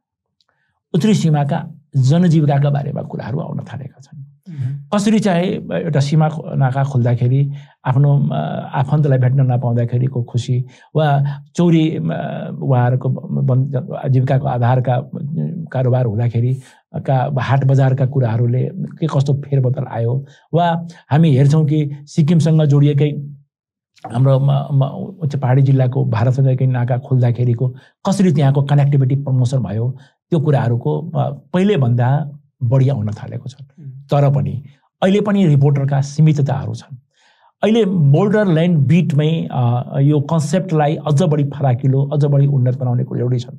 सँगसँगै काठमाडौँमा का जुन मिडियाहरू छन् त्यो मिडियाले आफ्नै रिपोर्टरले पठाएका सूचनाहरूको प्राथमिकीकरण सूचनाहरूलाई स्पेस दिने कुराहरूमा अलिकति संवेदनशीलता अपनाउनु पर्ने आवश्यकता छन्। किनभने बो बोर्डर ल्यान्ड भनेको केवल भारतीय सीमासँग जोडिएको छैनन् उत्तरी सीमासँग जोडिएको छन्। हो त्यहाँ बसोबास गर्नेहरूको जनसङ्ख्या कम होला यहाँ जनसङ्ख्या बढी होला। त्यसैले यहाँ कुनै कुरा हुँदाखेरि ठुलो जन जनआबादीलाई त्यसको प्रभाव पर्छ त्यहाँ कमलाई परिराखेको छन्। तर सार्वभौमिकता भन्ने कुरा ठु ठुलो आकारको जनसङ्ख्या र कम आकारको जनसङ्ख्याको हुँदैन नेपालको कुनै पनि भूगोलमा बस्ने जनताको सार्वभौमिकताका कुरा सार्वभौमिकता सङ्कुचनका कुराहरू वा जनजीविकामा फेरबदल सुविधा असुविधाका कुराहरू हाम्रो चासोको विषय हुनुपर्ने हो। तर राष्ट्रिय सुरक्षाको प्राथमिकतामा पनि कुनै पनि बोर्डर पर्नुपर्ने हो। त्यसैले बोर्डर ल्यान्डको अवधारणाले एकातिर त्यहाँ बसोबास गर्ने रैथाने बासिन्दाहरूको राजनीतिक बााउन्ड्रीका कारणले पारस्परिकतामा आएको आबद्धता वा असंलग्नता अविच्छिन्नतालाई डिफाइन गर्ने। सँगसँगै राज्यको पहुँच एउटै राज्यको हो कि सन्तुलित रूपमा दुइटै राज्यको समान रूपमा पहुँच हुँदैछ बोर्डरमा बोर्डरको व्यवस्थापनमा कुनै एउटै राज्यको पहुँच छ कि दुइटैतिरको राज्य छ? किनभने साँध हुँदैमा दुई पक्ष त भयो नि त। दुई पक्षको सन्तुलित व्यवस्थापनमा संलग्नता छ कि छैन? त्यसमा व्यवस्थापनका प्रक्रियाहरू कसले निर्धारण गरिराखेको छन्। त्यसको लेखावट छ कि छैनन्? बोर्ड जस्तै उत्तरी बोर्डरमा इन्भेस्टमेन्ट भइरहेछ भने कसको जानकारीमा कसले इन्भेस्ट गरिरहेछ? दक्षिणी बोर्डरसँग जोडिएको ठाउँहरूमा इन्भेस्टमेन्ट भइरहेछ भने कसले गरिरहेछ कसले गरिराखेको छन्? त्यो इन्भेस्टले त्यहाँको सामाजिक आर्थिक मनोविज्ञानमा के असर पारिराखेको छन्? यो बृहत्तर कुराहरू बोर्डर ल्यान्डसँग जोडिएका कुराहरू सरलाई म यहाँ रोकेर एउटा ठ्याक्कै थप्छु किन भन्दाखेरि यो ठ्याक्कै यो यहीँनिर चाहिँ अलिकति प्रासङ्गिक होला भनेर। जुन सरसर्ती हेर्दा मेरो अब्जर्भेसनले चाहिँ नेपाली मिडियामा चाहिँ बोर्डर लाइन बिट स्थापित हुन सकेछ जस्तो लाग्दैन मेरो अब्जर्भेसन है। त्यसै गरी रिपोर्टरहरू जो चाहिँ बोर्डर सीमातिर हुनुहुन्छ उहाँहरूले पनि यो विषयमा जुन अहिले तपाईँले विविध इस्युहरू भन्नु भने ती इस्युमा मजाले लेख्नु भएको जस्तो लाग्दैन। खास मिडिया हाउसलाई र त्यो बोर्डर क्षेत्रमा भएका रिपोर्टरहरूलाई चाहिँ के कुराको चाहिँ समस्या अथवा भनौँ न अप्ठ्यारो अथवा चुनौती छ जसले गर्दा चाहिँ अहिले तपाईँले भनेका तमाम इस्युहरू चाहिँ आउन सकिरहेको छैन? हाम्रो बातचितको प्रारम्भमै मैले भनेको थिएँ तपाईँले वीरगञ्ज वीरगञ्जसँग जोडिएका इस्युहरू कुरा गर्दाखेरि अहिले जुन रिपोर्टिङहरू भइराखेका छन् उत्तर होस् दक्षिणतिरका बोर्डरहरूमा त्यो अस्थानिक रिपोर्टरहरू स्थानीय रिपोर्टिङहरू भइरहेछन्। त्यो अस्थानिक छ लोकालिटीसँग जोडिएका छन्। तर बोर्डरल्यान्ड एउटा थिम हो एउटा अप्रोच हो एउटा एउटा मान्यता हो बोर्डरल्यान्ड भन्ने कुरा। अब यसलाई बिस्तारै हामीले अलिकति फैलाउँदै तन्काउँदै जानुपर्ने छ। जो रिपोर्टरहरू छन् त्यो स्थानिक भएको पाँच थरको रिपोर्टरले एक प्रकार गर्छन् दार्चुलाको एक प्रकारले गरिरहेछन् हाम्रो रसुवाको बोर्डरमा हुनेले एक प्रकारको रिपोर्टिङहरू गरिरहेछन् अरू विषय पनि गर्छन् बोर्डरको पनि गर्छन्। तर बोर्डरसँग जोडिएकै कानुनहरू बोर्डरसँग जोडिएकै मान्यताहरू बोर्डरमै डेमोग्राफीमै फेरबदल भइराखेको अवस्थाहरू छन् होइन? त्यसले के अप्ठ्यारो पार्यो त? पानीकै सङ्कटहरू हुँदाखेरि नेपालका बस्तीहरू उत्तरी बोर्डरमा गाउँहरू खाली हुँदै गएका छन्। अब खाली भएको ठाउँ वा अत्यन्त दुर् दुर्गम भएको ठाउँ जहाँ हाम्रो राज्यकै पहुँच छैनन् त्यहाँ रिपोर्टरको पहुँच छ कि छैनन् त्यहाँ वारीले के कस्तो कामहरू गरिराखेको छन् त्यसको बारेमा त हामी कहाँ लिमिटेसन छैन। र बोर्डर ल्यान्ड भनेको दुईतिरको पारस्परिकताको कुरा पनि हो। आबद्धताका कुरा हो र भिन्नताको कुराहरू पनि हो। भनेपछि यसलाई बिटकै रूपमा हेर्नु र डिस्कोर्स बनाउँदाखेरि यसले राष्ट्रिय एकबद्धतालाई राष्ट्रिय सुरक्षालाई र राष्ट्रिय अर्थतन्त्रलाई र राष्ट्रिय सामाजिक प्रभावकारितालाई बलियो बनाउँछ भन्ने मलाई लाग्छ। त्यस कारणले अहिलेको बदलिएको सन्दर्भमा हामीले बोर्डर दक्षिण होस् वा उत्तर होस् बोर्डर ल्यान्डकै एप्रोचमा हामी रिपोर्टरहरू राख्नु जरुरी छन्। उनीहरूलाई यो विषयमा ट्रेनिङ प्रशिक्षण गोष्ठीहरू दिनु जरुरी छन्। उनीहरूलाई गाइड का सामग्रीहरू उपलब्ध गराउनु जरुरी छन्। अब त्यो खालि अहिलेसम्म देखिएको एउटा लोकल लिटीसँग जोडिएको मात्र भयो कहिले काहीँ त्यो विषयमा गरिदिन्छन् तर बोर्डर आफैमा चाहिँ एउटा मृत अवस्था कुनै वा एउटा चाहिँ मुर्दा रेखा होइनन्। त्यो एउटा जीवन्त रेखा हो। त्यो जीवन्त रेखाले के कस्ता बहुआयामिक परिवर्तन र फेरबदलहरू लाउँदै गएको छन् र त्यसले त्यहाँको समाज र स्वयं केन्द्रसँगको सम्बन्धमा के असर परिरहेको छन् त्यो व्याख्या त्यो बारेहरूमा पनि प्रमाणिक सामग्रीहरूको आवश्यकता छन्। त्यो प्रमाणिक सामग्रीहरूको खोजी खोज तलास त्यो मनोविज्ञानलाई ल्याइदिने काम हाम्रा रिपोर्टरहरूले गर्न सक्छन्। जस्तो म ठ्याक्कै अलिकति जोडिहालेँ। जस्तो कुनै पनि रिपोर्टरले त्यो क्षेत्रमा बसेर अहिले रिपोर्टिङ गरिरहेको छ तर तपाईँले भने जस्तै यो बोर्डर लाइन सब्जेक्टमा रिपोर्टिङ गरिरहेको छैन तर उसलाई गर्न इन्ट्रेस्ट छ होइन? त्यसो हो भने उसलाई त गर्न इच्छा छ तर उसले जानिरहेको छैन। आफूले चाहिँ त्यो रिपोर्टरले चाहिँ त्यो बोर्डर लाइन बिटमै म काम गर्छु म रिपोर्टिङ गर्छु भनेर आफूलाई तयार गर्न खास उसले के के गर्नुपर्छ? मिडिया हाउसले उसलाई कस्तो किसिमको चाहिँ सेवा सुविधा अथवा प्रशिक्षण दिनुपर्छ जस्तो दुईवटा कुरा हो। कि एउटा त बोर्डर लाइनसँगै जोडिएका सरकारहरू सामग्रीहरू एकहोरो भयो। तर बृहत्तर अर्थमा हेर्नुपर्ने हुन्छ। त्यो भएको छैन। दोस्रो स्वयं रिपोर्टरले जे जति सीमितता छन् त्यो सीमितताका भित्र नै उसले केही गर्न खोजिराखेको छ भने त्यसमा अझ बढी परिमार्जन अझ बढी उसलाई अवधारणागत रूपमै जानकारी गराउनु पर्ने आवश्यकता छन्। कि तपाईँको क्षेत्रमा तपाईँ त्यहाँ बसेर रसुवामा बसेर यो यो कुराहरू च्याउन सक्नुहुन्छ।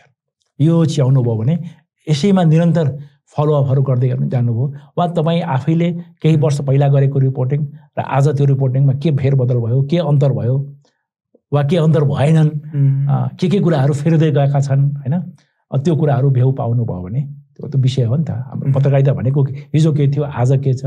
के थियो के हुनुपर्ने थियो। मान्छेले के सोचिरहेछ? राज्यले के सोचिरहेछन्? हाम्रो राज्यले के सोचिरहेछ? अरूले के सोचिदिइरहेछन् त्यसले के असर पारिरहेछन् यही कुराहरूलाई नै कोट्याउने हो। त्यसलाई फेला पार्ने हो र त्यसलाई बताइदिनु हो। एउटा त पत्रकारहरूलाई बोर्डरल्यान्डको मान्यतासँग परिचित गराउने हो। परिचित गराउने। एउटा कुरा। तर त्यस सँगसँगै स्वयं पत्रकारले आफूले गरेका कामहरूको आर्काइभ बनाउँदै जाने हो। आफैले गरेका कामहरू। तर एउटै उत्तरी बोर्डरसँग जोडिएको वा दक्षिणी बोर्डरसँग जोडिएको पत्रकार ऊ आफू एक्लो छैन त्यो बोर्डरमा अरूहरू पनि अरू ठाउँमा गइरहेको छन्। तिनले कस्ता कस्ता कुराहरू गर्दैछन्। त्यसले प्रवृत्ति सु- सुविधा हुन्छन्। जसरी कसैले गड्डा चौकीको गर्यो कसैले नेपालगञ्जको गर्यो कसैले भैरवाको गर्यो भने त्यहाँ भइराखेको कारोबार त्यहाँको भइराखेको फेरबदल एक प्रकारको हुनसक्छ भने त्यो चाहिँ विराटनगर र काँक्राबिटामा फरक हुन सक्छन् होइन? त्यहाँ अदुवाको इस्युज उठिराखेको हुनसक्छन्। हुनसक्छ नेपालगञ्जमा। वन्यजन्तु तस्करीको कुरा उठिराखेको होला। वा प्रतिबन्धित भारतीय रुपियाँ कमाएर लिएर आउँदाखेरि नेपालकै प्रहरीले त्यसलाई घेराबन्दीमा पारिदिएको हुनसक्छन् ऊ कमाएको छ लिगल तर नेपालमा त्यो भारू रुपियाँ प्रतिबन्धित छ। उसले मोटो रकम लिएर खल्तीमा आइरहेछ त्यहाँ उसलाई घेरिएको छन्। वा कोही नेपाली चाहिँ उसलाई जानु छ बङ्गलादेश तर उसले काँक्राभिटा भन्सार भएर जान सक्दैन। किनभने त्यहाँ त्यसलाई रो त्यहाँ उसलाई फेरबदल उसलाई त्यहाँ कडिकडाउ गरिएको छन्। भनेपछि के के सुविधा र असुविधाहरू बनिँदै गएको छन्? आफूमा पनि तुलना गर्न सकिन्छन्। एउटै अन्तर्राष्ट्रिय सीमासँग जोडिएका स्थान विशेषका रिपोर्टरहरूले अन्यत्रमा के के अनुकूलताहरू भए के के प्रतिकूलताहरू भए के के नयाँ कुरा प्रवृत्तिहरू विकास हुँदै गएका छन् त्यसको लेखाजोखा राख्न र एक आपसमा तुलना गरेर पनि उसले अरूले गरेका प्रयत्नहरूलाई पनि आफूसँग अर्काइ बनाएर राख्नु पर्यो। यसले स्वयं उसलाई अझ बढी विकसित अझ बढी फराकिलो तरिकाले सोचेर प्रेरित गर्छ। दोस्रो बोर्डरल्यान्ड सम्बन्धी अन्य ठाउँमा भएका खालि हामी नेपालकै खालि बोर्डर त छैनन् अन्यत्रहरू पनि बोर्डर छन्। के कस्ता इस्युहरूले प्रायोरिटी पाइरहेछ त्यो कुरा हो। दोस्रो जुन अहिले त प्रादेशिक संरचनामा गएको छन्।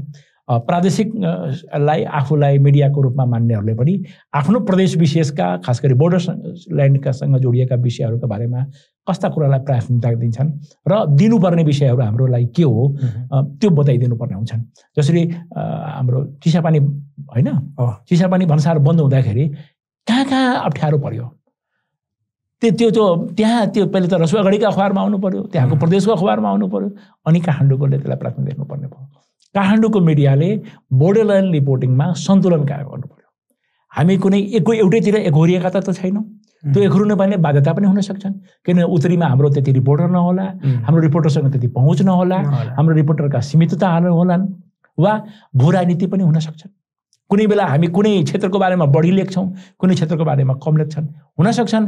मैले रिपोर्टरहरूसँग कुरा गर्दाखेरि चाहिँ उसले पठाएका कतिपय सूचनाहरू चाहिँ किल गरिएको छन्। किल गर्ने कारण के हो त? के त्यो सूचना उसले जुन तयार गरेर पठायो त्यो त्यसले आवश्यक अ, जसमा जे कन्टेन्टहरू चाहियो त्यो थिएन वा त्यहाँ जो डेस्कमा हेरिरहेको थिए उसले त्यसको महत्त्व बुझ्न सकेनन् त्यस कारणले किल गरिदिएको के भएको हो? मेरो खालि प्रश्न यही हो। र मेरो आग्रह पनि के हो भने र म हामी पत्रकारले जहिले पनि नयाँ नयाँ विषयहरू खोज्दै गएका छौँ। जसरी पहिला हामीले चाहिँ एउटा एउटा आर्थिक रिपोर्टर हुँदैमा हुन्थ्यो। अब आर्थिक रिपोर्टर भएन उसले ब्याङ्किङको जान्नु पर्यो उसले सहकारीको जान्नु पर्यो उसले सेयर कारोबारको बारेमा जान्नु पर्यो अ, भनेपछि उसले कृषि उत्पादनको बारेमा जान्नु त्यसमा अर्थ भनेर पनि भएनन्। हिजो पोलिटिकल रिपोर्टर भनिन्थ्यो उसले सबै कुरा जान्थ्यो अब भएनन्। पोलिटिकल फोर्सहरू पनि विभिन्न भए। त्यो फोर्सहरूका अनुकूललाई फलो गर्ने अलग अलग बिटगत पत्रकारहरू पनि घटनाक्रमहरू धेरै बदलिराखेको छन् फेरिँदै गएको छन्। त्यसै गरी बोर्डर ल्यान्डमै अलिक चनाखो हुने पत्रकारहरू हुनु पर्यो र डेस्क जसले न्युज कोअर्डिनेट गरिरहेछन् उसले पनि बोर्डर ल्यान्डको इम्पोर्टेन्स बुझ्नु पर्यो यसले देशको सार्वभौमिकताको लागि यसले देशको सामाजिक एकबद्धताका लागि र बोर्डर ल्यान्डका मान्छेहरू साँच्चीकै जो बोर्डरका हुन् उनीहरू चाहिँ फ्रन्टियर त भइरहेको छैन। उनीहरू मार्जलाइज त भइराखेका छैनन्। त्यो आवाज चाहिँ त्यसको आवाजको साउन्डेड गरिदिने काम त मिडियाको हो नि त। डेस्कले पनि डेस्कहरूमा पनि यो विषयमा डिस्कस हुन जरुरी छन् विभिन्न मिडिया हाउसका डेस्क जसले हेर्छ नि कोर्डिनेट उनमा पनि हुन जरुरी छन्। र बोर्डर लाइन नयाँ एउटा विषय विषय यो विषय पुरानो तर हामी कहाँ भर्खर इमर्ज हुने एउटा आकार लिन खोजिराखेको क्रममा जसले यसलाई पछ्याउँछन् जसले यसमा काम गर्छन् ऊ यही विषयको एउटा विज्ञको रूपमा हुन सक्छन्। यही विषयको एउटा अगुवा पत्रकारको रूपमा आफूलाई स्थापित गर्न सक्छन् त्यो नाकाको बारेमा चाहिँ ऊ बढी जानिकार भएको हुन सक्छन्। किन अब त त्यो नाकाको बारेमा जान्नु पऱ्यो भने वहीँको पत्रकारले अस्तरगत रूपमा उसले बताउने हुन्छन्। तर स्वयं पत्रकारले पनि अब ए पहिला जस्तो र पहिलेकै साबिक जस्तो विभिन्न विषयहरूमा आफूलाई नगोतलिएर खास खास विषयमा अलिकति आफ्नो अध्ययन आफ्नो सूचना र स्रोतहरू विकसित गर्दै गयो भने उसको महत्त्व चाहिँ अन्तर्राष्ट्रिय मिडियाहरूले पनि ले पहुँच बनाउन सक्छन् त्यहाँ उसले अवसर पाउन सक्छन् भन्ने मलाई लाग्छ। जस्तो तपाईँले त पहिलादेखि नै अब बोर्डर लाइन नै रिपोर्टिङ गरिराख्नु भएको छ होइन? तपाईँले काम गर्दाको समयमा र अहिले चाहिँ यो बोर्डर लाइन बिटमा चाहिँ विषय वा सरोकारहरू के कस्तो फेरबदल भइरहेको छ? तपाईँको अब्जर्भेसनले के अब यस्तो थियो कुनै पनि समाजमा कुनै कुरालाई प्रतिबिम्बित गर्ने शब्दहरू छ कि छैनन् भन्ने त्यसले धेरै कुरा बताउँछन्। म जब पत्रकारिता गरिराखेको थिएँ र विचारहरू लेख्न थालेँ त्यतिखेर यो बोर्डर ल्यान्ड्सलाई नेपालीमा अभिव्यक्त गर्ने शब्दहरूको मसँग खाँचो थियो। अनि मैले सीमाञ्चल भन्ने शब्द आफैले coin गरेँ। सीमाञ्चल। सीमाञ्चल। अ, मूलधारको मिडियामा पनि त्यसले स्थान पायो। अब अरू अरूले पनि मैले लेख्ने अखबारमा मात्र होइन अन्य अखबारहरूले पनि सीमाञ्चललाई प्रयोग गर्न थाले त्यो शब्दले चाहिँ। सीमाञ्चल भनेको के हो भने सीमाको वारिपारि बस्ने बासिन्दाहरू जसको पारस्परिकता छन् जसको जनजीविका जोडिएको छन् जसको परम्परासँग जो आबद्ध छन् त्यो तिनीहरूको जीवनशैलीलाई देखाउँछन्। तिनीहरूको आवश्यकतालाई देखाउँछन् तिनीहरूको अवरोधलाई प्रस्तुत गर्ने विषयवस्तुलाई ल्याउँछन्। यो एउटा फराकिलो विषय हो। भनेपछि हामी कहाँ यसरी सोचिएकै थिएन। कि एउटा झरोखर गाउँ बारा जिल्लामा छ बोर्डरको। त्यो पोखरी ठुलो छ। झरोखर पोखरी नेपालभित्र छ झरोखर गाउँ पारिपट्टि छ। कुनै गाउँ तपाईँ यस्तो भेटाउनुहुन्छ गुजमुटिएको छ कि कसैको खलिहान एकातिर छ घरको आँगन अर्कोतिर छ। बोर्डरमा दस गजा ठडिएको छ त्यहाँ दुइटैतिरको भैँसी एकै ठाउँमा बाँधिएको छन्। दुइटैतिर चाहिँ जन्ती खान बसेका मान्छेहरू दस गजामा बसेर जन्ती खाइराखेको हुन्छ मान्छे चाहिँ। एकातिर बिहे छ सहनाई बजाउन पारिपट्टिपट्टि आउँछन् मान्छे चाहिँ। यसरी जुन सम्बन्धको संलग्नता छन् त्यहाँ अब एउटा बोर्डर छ र त्यो बोर्डर बोर्डर मात्र भएनन्। त्यहाँ राज्य अब मजबुत हुँदै गएको छन्। त्यसले सार्वभौमिकता पनि डिफाइन गर्छ। भने बोर्डरले एकातिर तपाईँलाई अरू जहाँ बोर्डर छ जसरी एकचोटि मेरा मित्र हुनुहुन्छ रूपन्देहीमा। जो संविधान सभा पहिलोमा सभासद हुनुहुन्थ्यो। आदित्यनारायण कसौधन। अनि उहाँले भन्नुभयो कि मर्चबार दक्षिणी बोर्डरमा प्रायः चाहिँ सीमा बिचियो सीमामा पूर्वाधारहरू निर्माण गरेर अलिकति खिचडोहरू भइराखेको हुन्छ। संसदीय टोली त्यहाँ पुग्यो। अनि त्यहाँ पुगेपछि उनीहरू कुरा गर्दै थिए। जसरी हामी नेपाललाई प्रतिबिम्बित गर्दाखेरि मेचीदेखि महाकाली भन्छौँ वा मर्चबारदेखि मुस्ताङसम्म भन्छौँ। त्यो मर्चबारमा गएको थिएँ अनि एकजना सांसदले भन्नुभयो नेपालको सीमा यहाँ टुङ्गिन्छ। त्यहाँ हलो जोतिराखेका एकजना मान्छे थिए अवधिभाषी उसले भन्यो नेपालको सीमा यहाँ टुङ्गिँदैन। नेपालको सीमा यहाँबाट सुरु हुन्छ। त्यो भनेको पर्सपेक्टिभ हो। केन्द्रले हेर्छ कि सीमा त्यहाँ टुङ्गिन्छन्। अर्कोले के भन्छ भने सीमा यहाँबाट सुरु सुरु हुन्छ। यो यो यो बुझाइको भिन्नता अवधारणागत बु- भिन्नता पनि हो। तपाईँले त्यो त्यो सीमा वारी र पारीको सम्बन्धलाई तपाईँले भन्नुहुन्छ राष्ट्रियता समाप्त पार्यो? किन पारि पारि पारिपट्टिसँग उसको बढी घुलमिल छन् तर उसले जन्मिँदैदेखि जुन किसिमको परिवेश पायो त्यसमा उसले त्यहाँ राष्ट्रियता भन्ने कुरै पाएन नि त। जस्तै वीरगञ्जको मान्छे रक्सौल गइराखेको छ। ऊ भारत गइराखेको हुँदैन इन्डिया गइराखेको हुँदैन। उम्, टाँसिएकै ठाउँ हो। टाँसिएकै ठाउँ हो। जोडिएको बस्ती हो। ऊ रक्सौल गइरहेको छ भने प्लेस टु प्लेस रिलेसन छ तर आधुनिक राज्यमा दुई केन्द्रले सम्बन्धलाई निर्धारण गरिरहेको छन्। कि सीमामा अब कस्तो व्यवस्थापन हुने? पहिला कसैले निगरानी गर्दैन थियो अब निगरानी गर्ने निर्णायक तत्त्व आए। त्यो पोलिटिकल बााउन्ड्रीले हाम्रो पल पोलिटिकल आइडेन्टिटी फरक दियो। पोलिटिकल आइडेन्टिटीले हाम्रो नागरिकता नागरिकत्वको अवधारणा फरक लाग्यो। उनी भारतीय भए हामी नेपाली भयौँ। त्यही रक्सौलमा म किनमेल जाँदाखेरि चाहिँ व्यक्ति गइराखेको हुन्छु।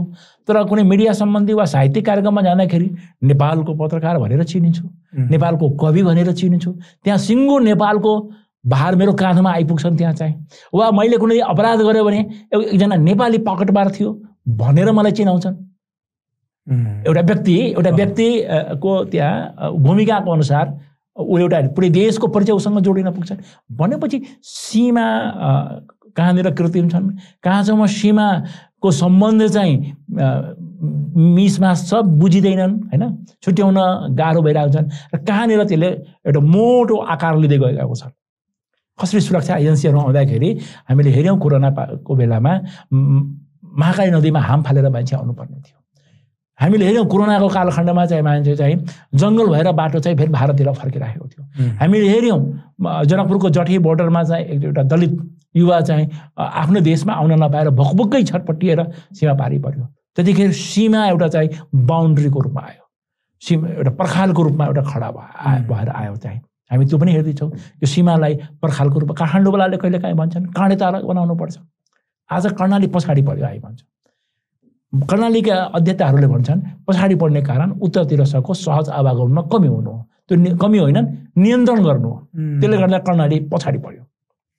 भनेपछि तपाईँ काँडेदार बनाउने कुरा जसले सहज रूपमा काठमाडौँको डिस्कोर्समा गर्नुहुन्छ। इपिजी नै बन्यो हो। इमिनेन्ट पर्सन ग्रुप्स जुन बन्यो प्रबुद्ध समूहहरूको त्यस्तो समावेशी थिएनन्।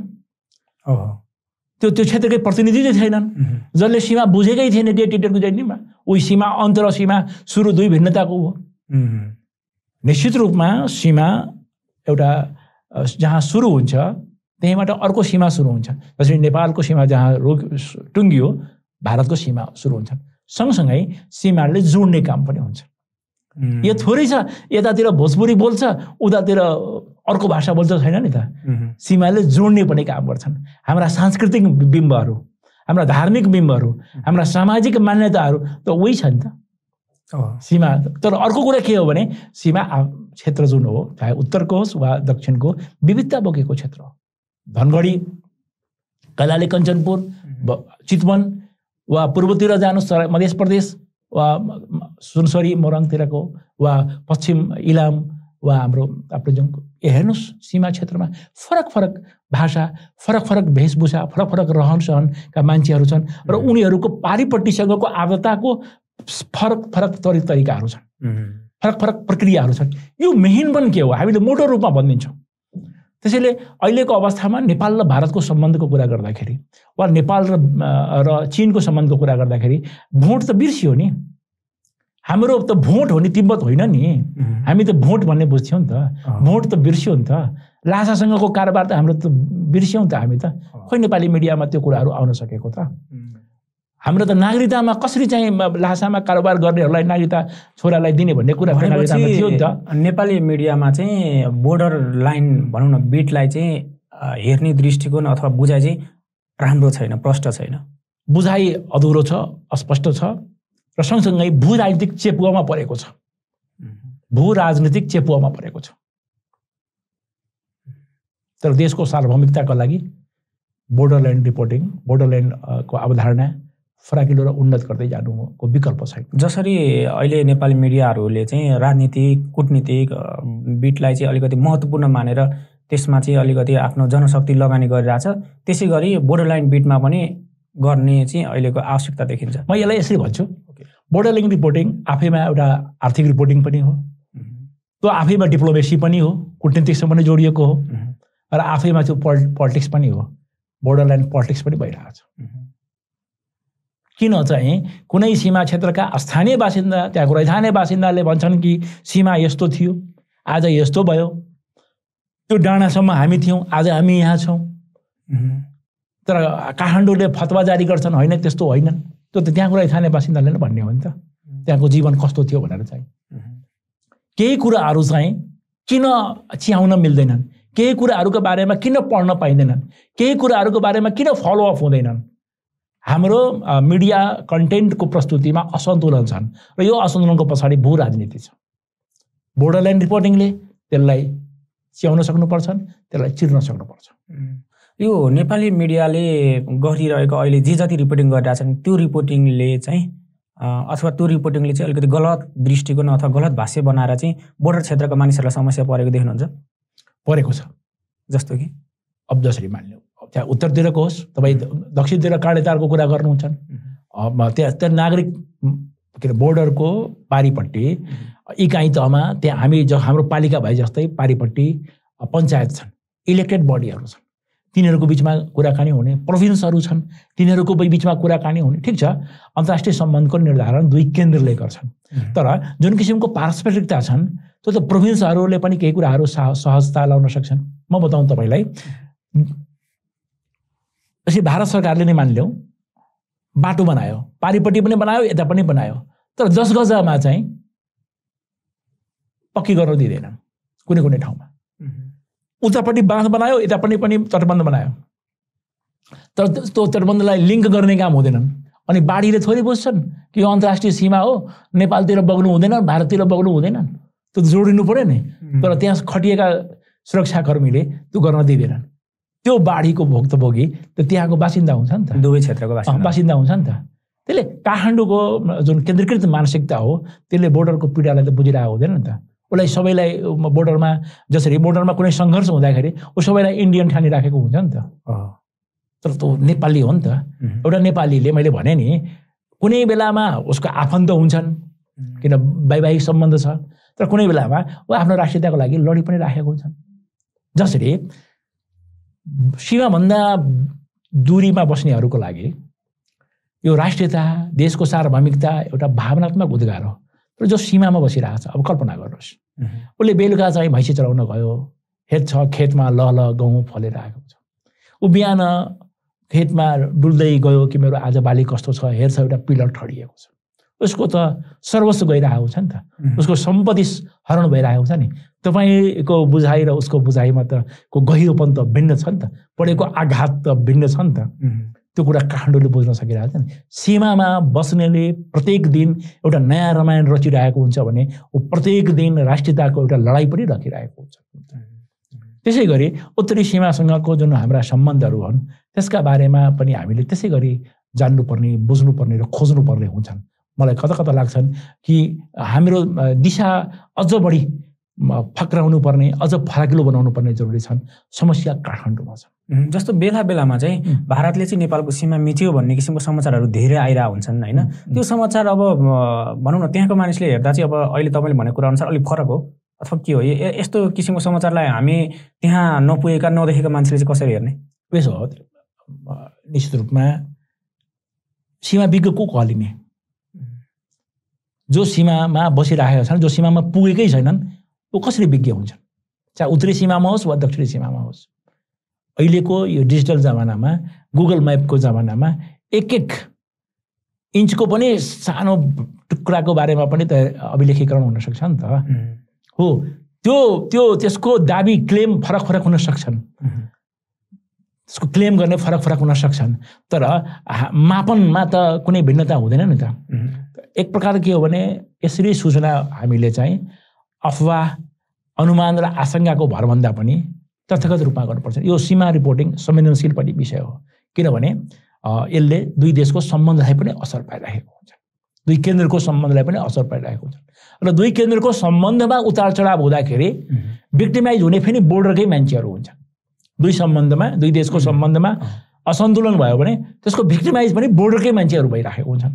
बेला बेलामा झगडा पनि भएको हा- त्यसैले मैले भन्न खोजेको के हो भने बोर्डर ल्यान्डको रिपोर्टिङ रियलिस्टिक हुनुपर्छ फ्याक्टको आधारमा हुनुपर्छन् सूचनाहरू प्राथमिकतामा पर्नुपर्छ। र पहिलेभन्दा हामीले धेरै सिक्दै गइराखेका छौँ। सीमाको अतिक्रमण कहिले हाम्रो दाबी हुन्छन् कहिले उता हुन्छन्। तर इस्युहरू फ्याक्टका आधारमा आइराख्नुपर्छ। धेरै जसो रिपोर्टिङहरू चाहिँ यो राष्ट्रवादको न्यारेटिभले आइरहेको जस्तो देख्नुहुन्छ। यहाँबाट गरिन्। अब त्यसले यसलाई यसै भनौँ। सूचनाहरूको वा समाचारहरूको प्राथमिकीकरण हामीले राष्ट्रवादको कृत्रिम आँखाबाट गरिराखेको हुन्छौँ। यथार्थ के छ र हुनुपर्ने के हो? त्यसको आधारमा हुनुपर्ने हो नि त। अब यहीँनिर मैले ठ्याक्कै कन्टिन्यू गर्नलाई सोधेँ। जस्तो अहिलेसम्म भइरहेको रिपोर्टिङको बारेमा त हामीले अलिअलि कुरा गऱ्यौँ होइन। धेरै कुरा त छुट्यो पनि होला। अब चाहिँ खास हामीले अथवा नेपाली मिडियाले चाहिँ यो बोर्डर लाइनको बारेमा चाहिँ कसरी रिपोर्टिङ गर्ने कस्ता कस्ता इस्युलाई समात्ने कस्ता कस्ता सरोकारहरू राख्ने आम म फेरि म फेरि भन्छु सीमा चाहे दक्षिणी होस् चाहे उत्तरी होस् सीमा क्षेत्रका बासिन्दा र स्वयं साँध हाम्रा लागि महत्त्व र प्राथमिक पक्ष हो। साँध पनि र त्यो क्षेत्रका बासिन्दा पनि सीमाञ्चलका बासिन्दा दुईटैतिरका सीमाञ्चलका बासिन्दा हाम्रा लागि प्राथमिक हुन्। समाचारहरू तथ्यपरक ढङ्गले आउनु पर्यो र प्राथमिकता पाउनु पर्यो। त्यसले गर्दा हाम्रा नीति निर्माण गर्नेहरूलाई सजिलो हुन्छन् सहज हुन्छन् र जब त्यो नागरिक मैत्री कानुन बन्दछन् नीति बन्दछन् त्यसले हाम्रो राष्ट्रलाई मजबुत बनाउँछन्। हाम्रो सार्वभौमिकतालाई मजबुत बनाउँछन्। त्यो कुरा यो बोर्डर लाइन रिपोर्टिङसँग जोडिएको विषय हो जस्तो लाग्छ मलाई। जस्तो धेरै जसो चाहिँ बोर्डर लाइनमा नेपाली मिडियाहरूले रिपोर्टर राखेका छैनन्। कहिलेकाहीँ चाहिँ यस्तै घटनाहरू भएको बेलामा चाहिँ केन्द्रबाट नै रिपोर्टरहरू पठाउँछन्। त्यति बेला चाहिँ त्यो पत्रकारितामा एउटा शब्दावली छ नि पारासुट जर्नलिजम त्यस्तो हुने चाहिँ खतरा ज्यादा। कतिपय अवस्थामा चाहे यताको बोर्डर होस् वा उतातिरको बोर्डर होस् प्रायः चाहिँ हामी चाहिँ केही कुराहरू ल्याप्सेज गरिरहेका हुन्छौँ अस्थानीय मनोविज्ञानहरूलाई अस्थानीय सूचनाहरूलाई अस्थानीय परम्पराहरूलाई हामी बिर्सिराखेका हुन्छौँ उपेक्षा गरिरहेका हुन्छौँ। हामी सुरुदेखि नै एउटा आग्रह बोकेर गइरहेका हुन्छौँ उम्, त्यसलाई प्रस्ट्याउने कुरा मात्र खोतल्यौँ भने त्यो यथार्थ एउटा हुन्छन् स्थिति फरक हुन्छन्।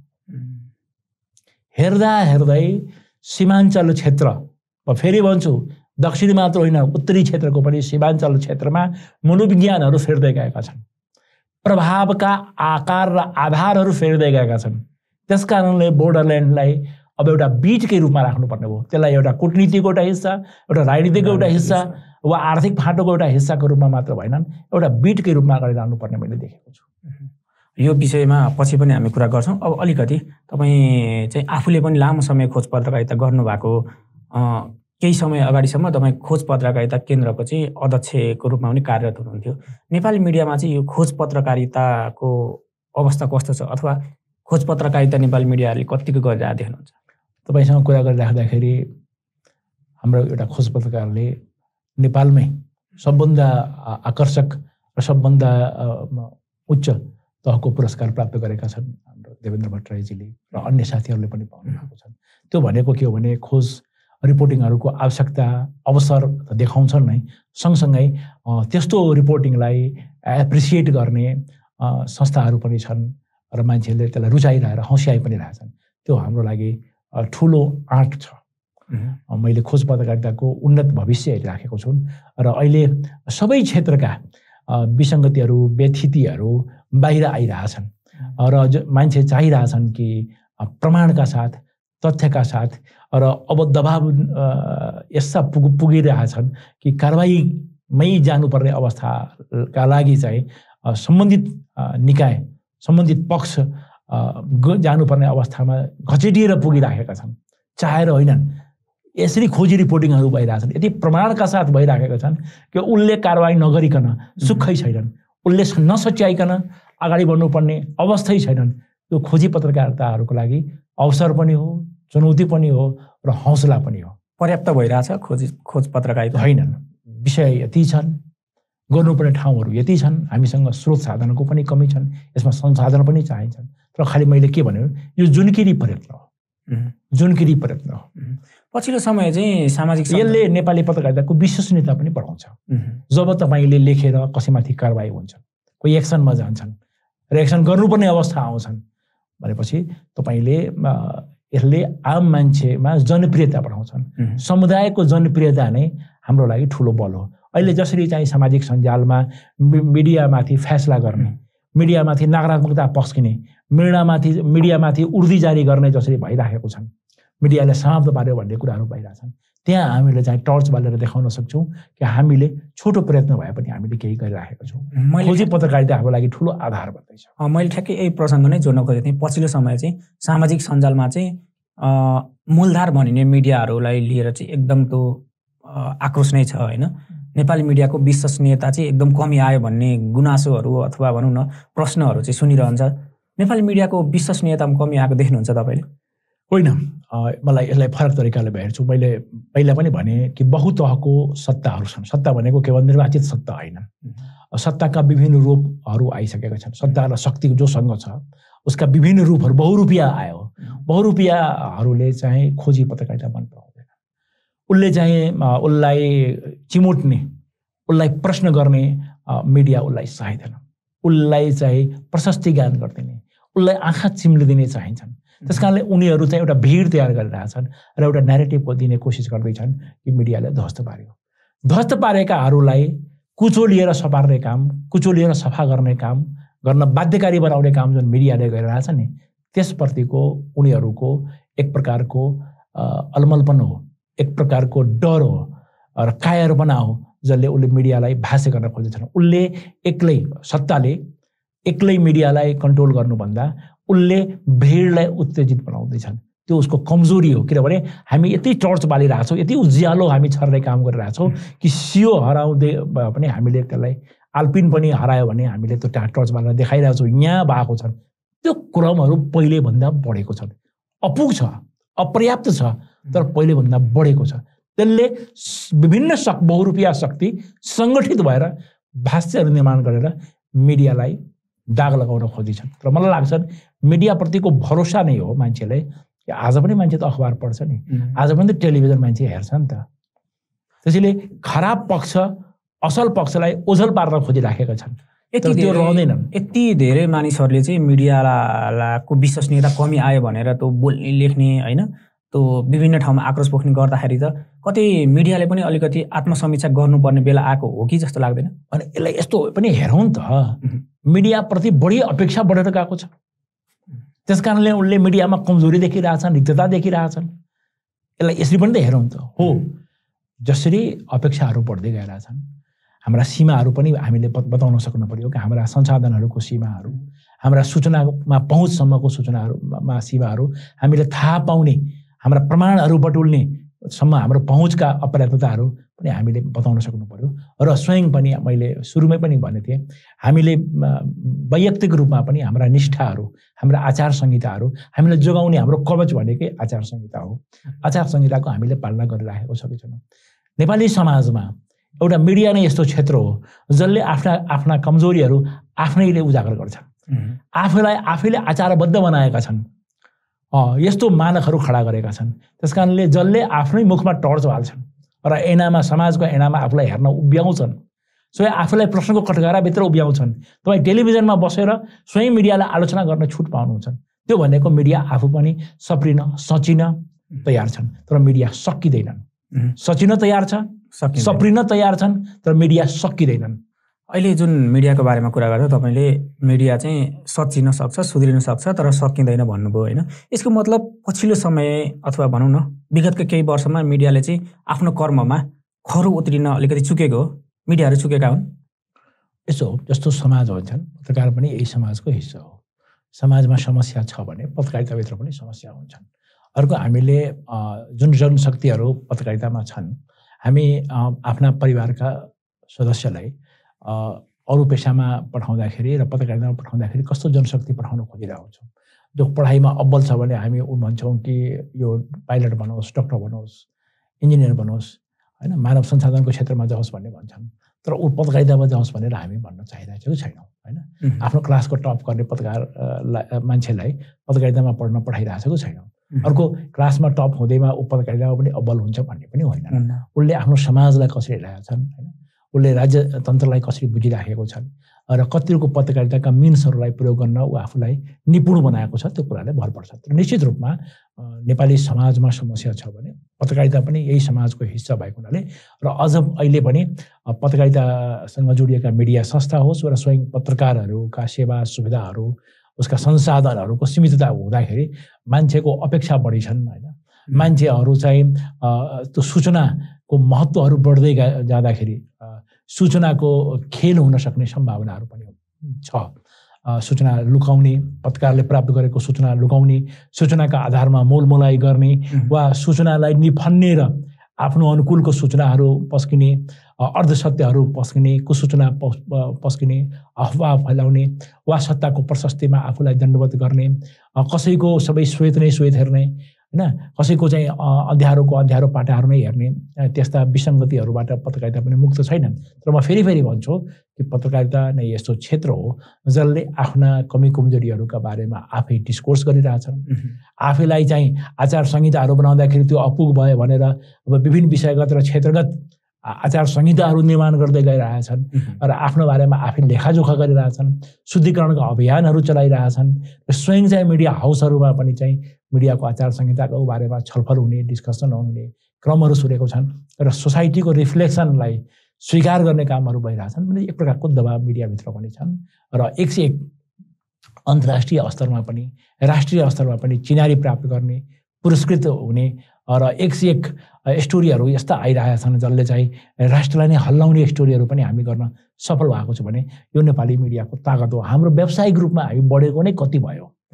र यही छिमेकको हामी हेर्ने हो भने जहाँ शताब्दीौँ पुरानो पत्रकारिताको इतिहास छन् त्यहाँ कुन प्रकारको पत्रकारिता भइरहेको छ?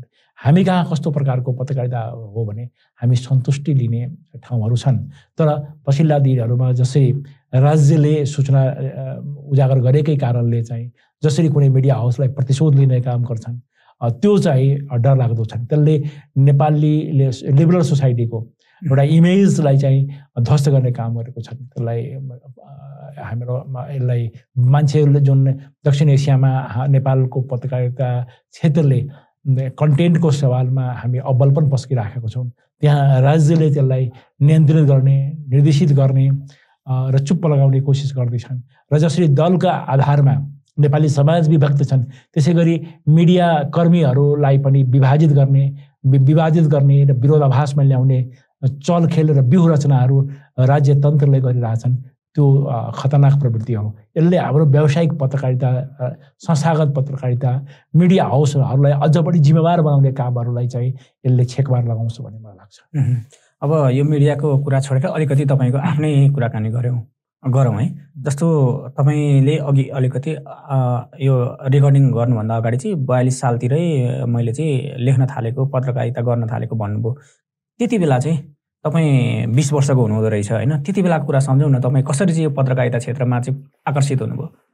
यस्तो भयो म चाहिँ कविताहरू लेख्ने त्यो छ सात कक्षामा पढ्दा अगाडि नै सुरु गरिसकेको थिएँ तुकबन्दी कविता भनेको तुकबन्दीहरू गर्थेँ अनि छुट्टीमा गाउँमा आउँदाखेरि घरेलु कामहरूमा पनि हामी प्रयोग हुन्थ्यौँ भैँसी चलाउने काम गर्थेँ तर मेरो बानी के थियो भने किताबहरू पढ्ने तर कोर्सभन्दा बाहिरको किताबहरू पढ्ने भैँसी चलाउँदाखेरि एक दिन मेरो ठुलबुवाको पुस्तकालयमा एउटा किताब थियो हिन्दी परिचय भन्ने त्यसमा म पढ्दै गएँ त्यसमा पत्रिका के हो पत्रकारिता के हो हस्तलिखित पत्रिका कसरी निकाल्ने पुस्तकालय के हो भन्ने कुराहरू थियो। सँगसँगै एकजना भारतीय नामुद पत्रकारको नाम पनि थियो र उनको अलिकति जीवन वृत्त थियो गणेश शङ्कर विद्यार्थी।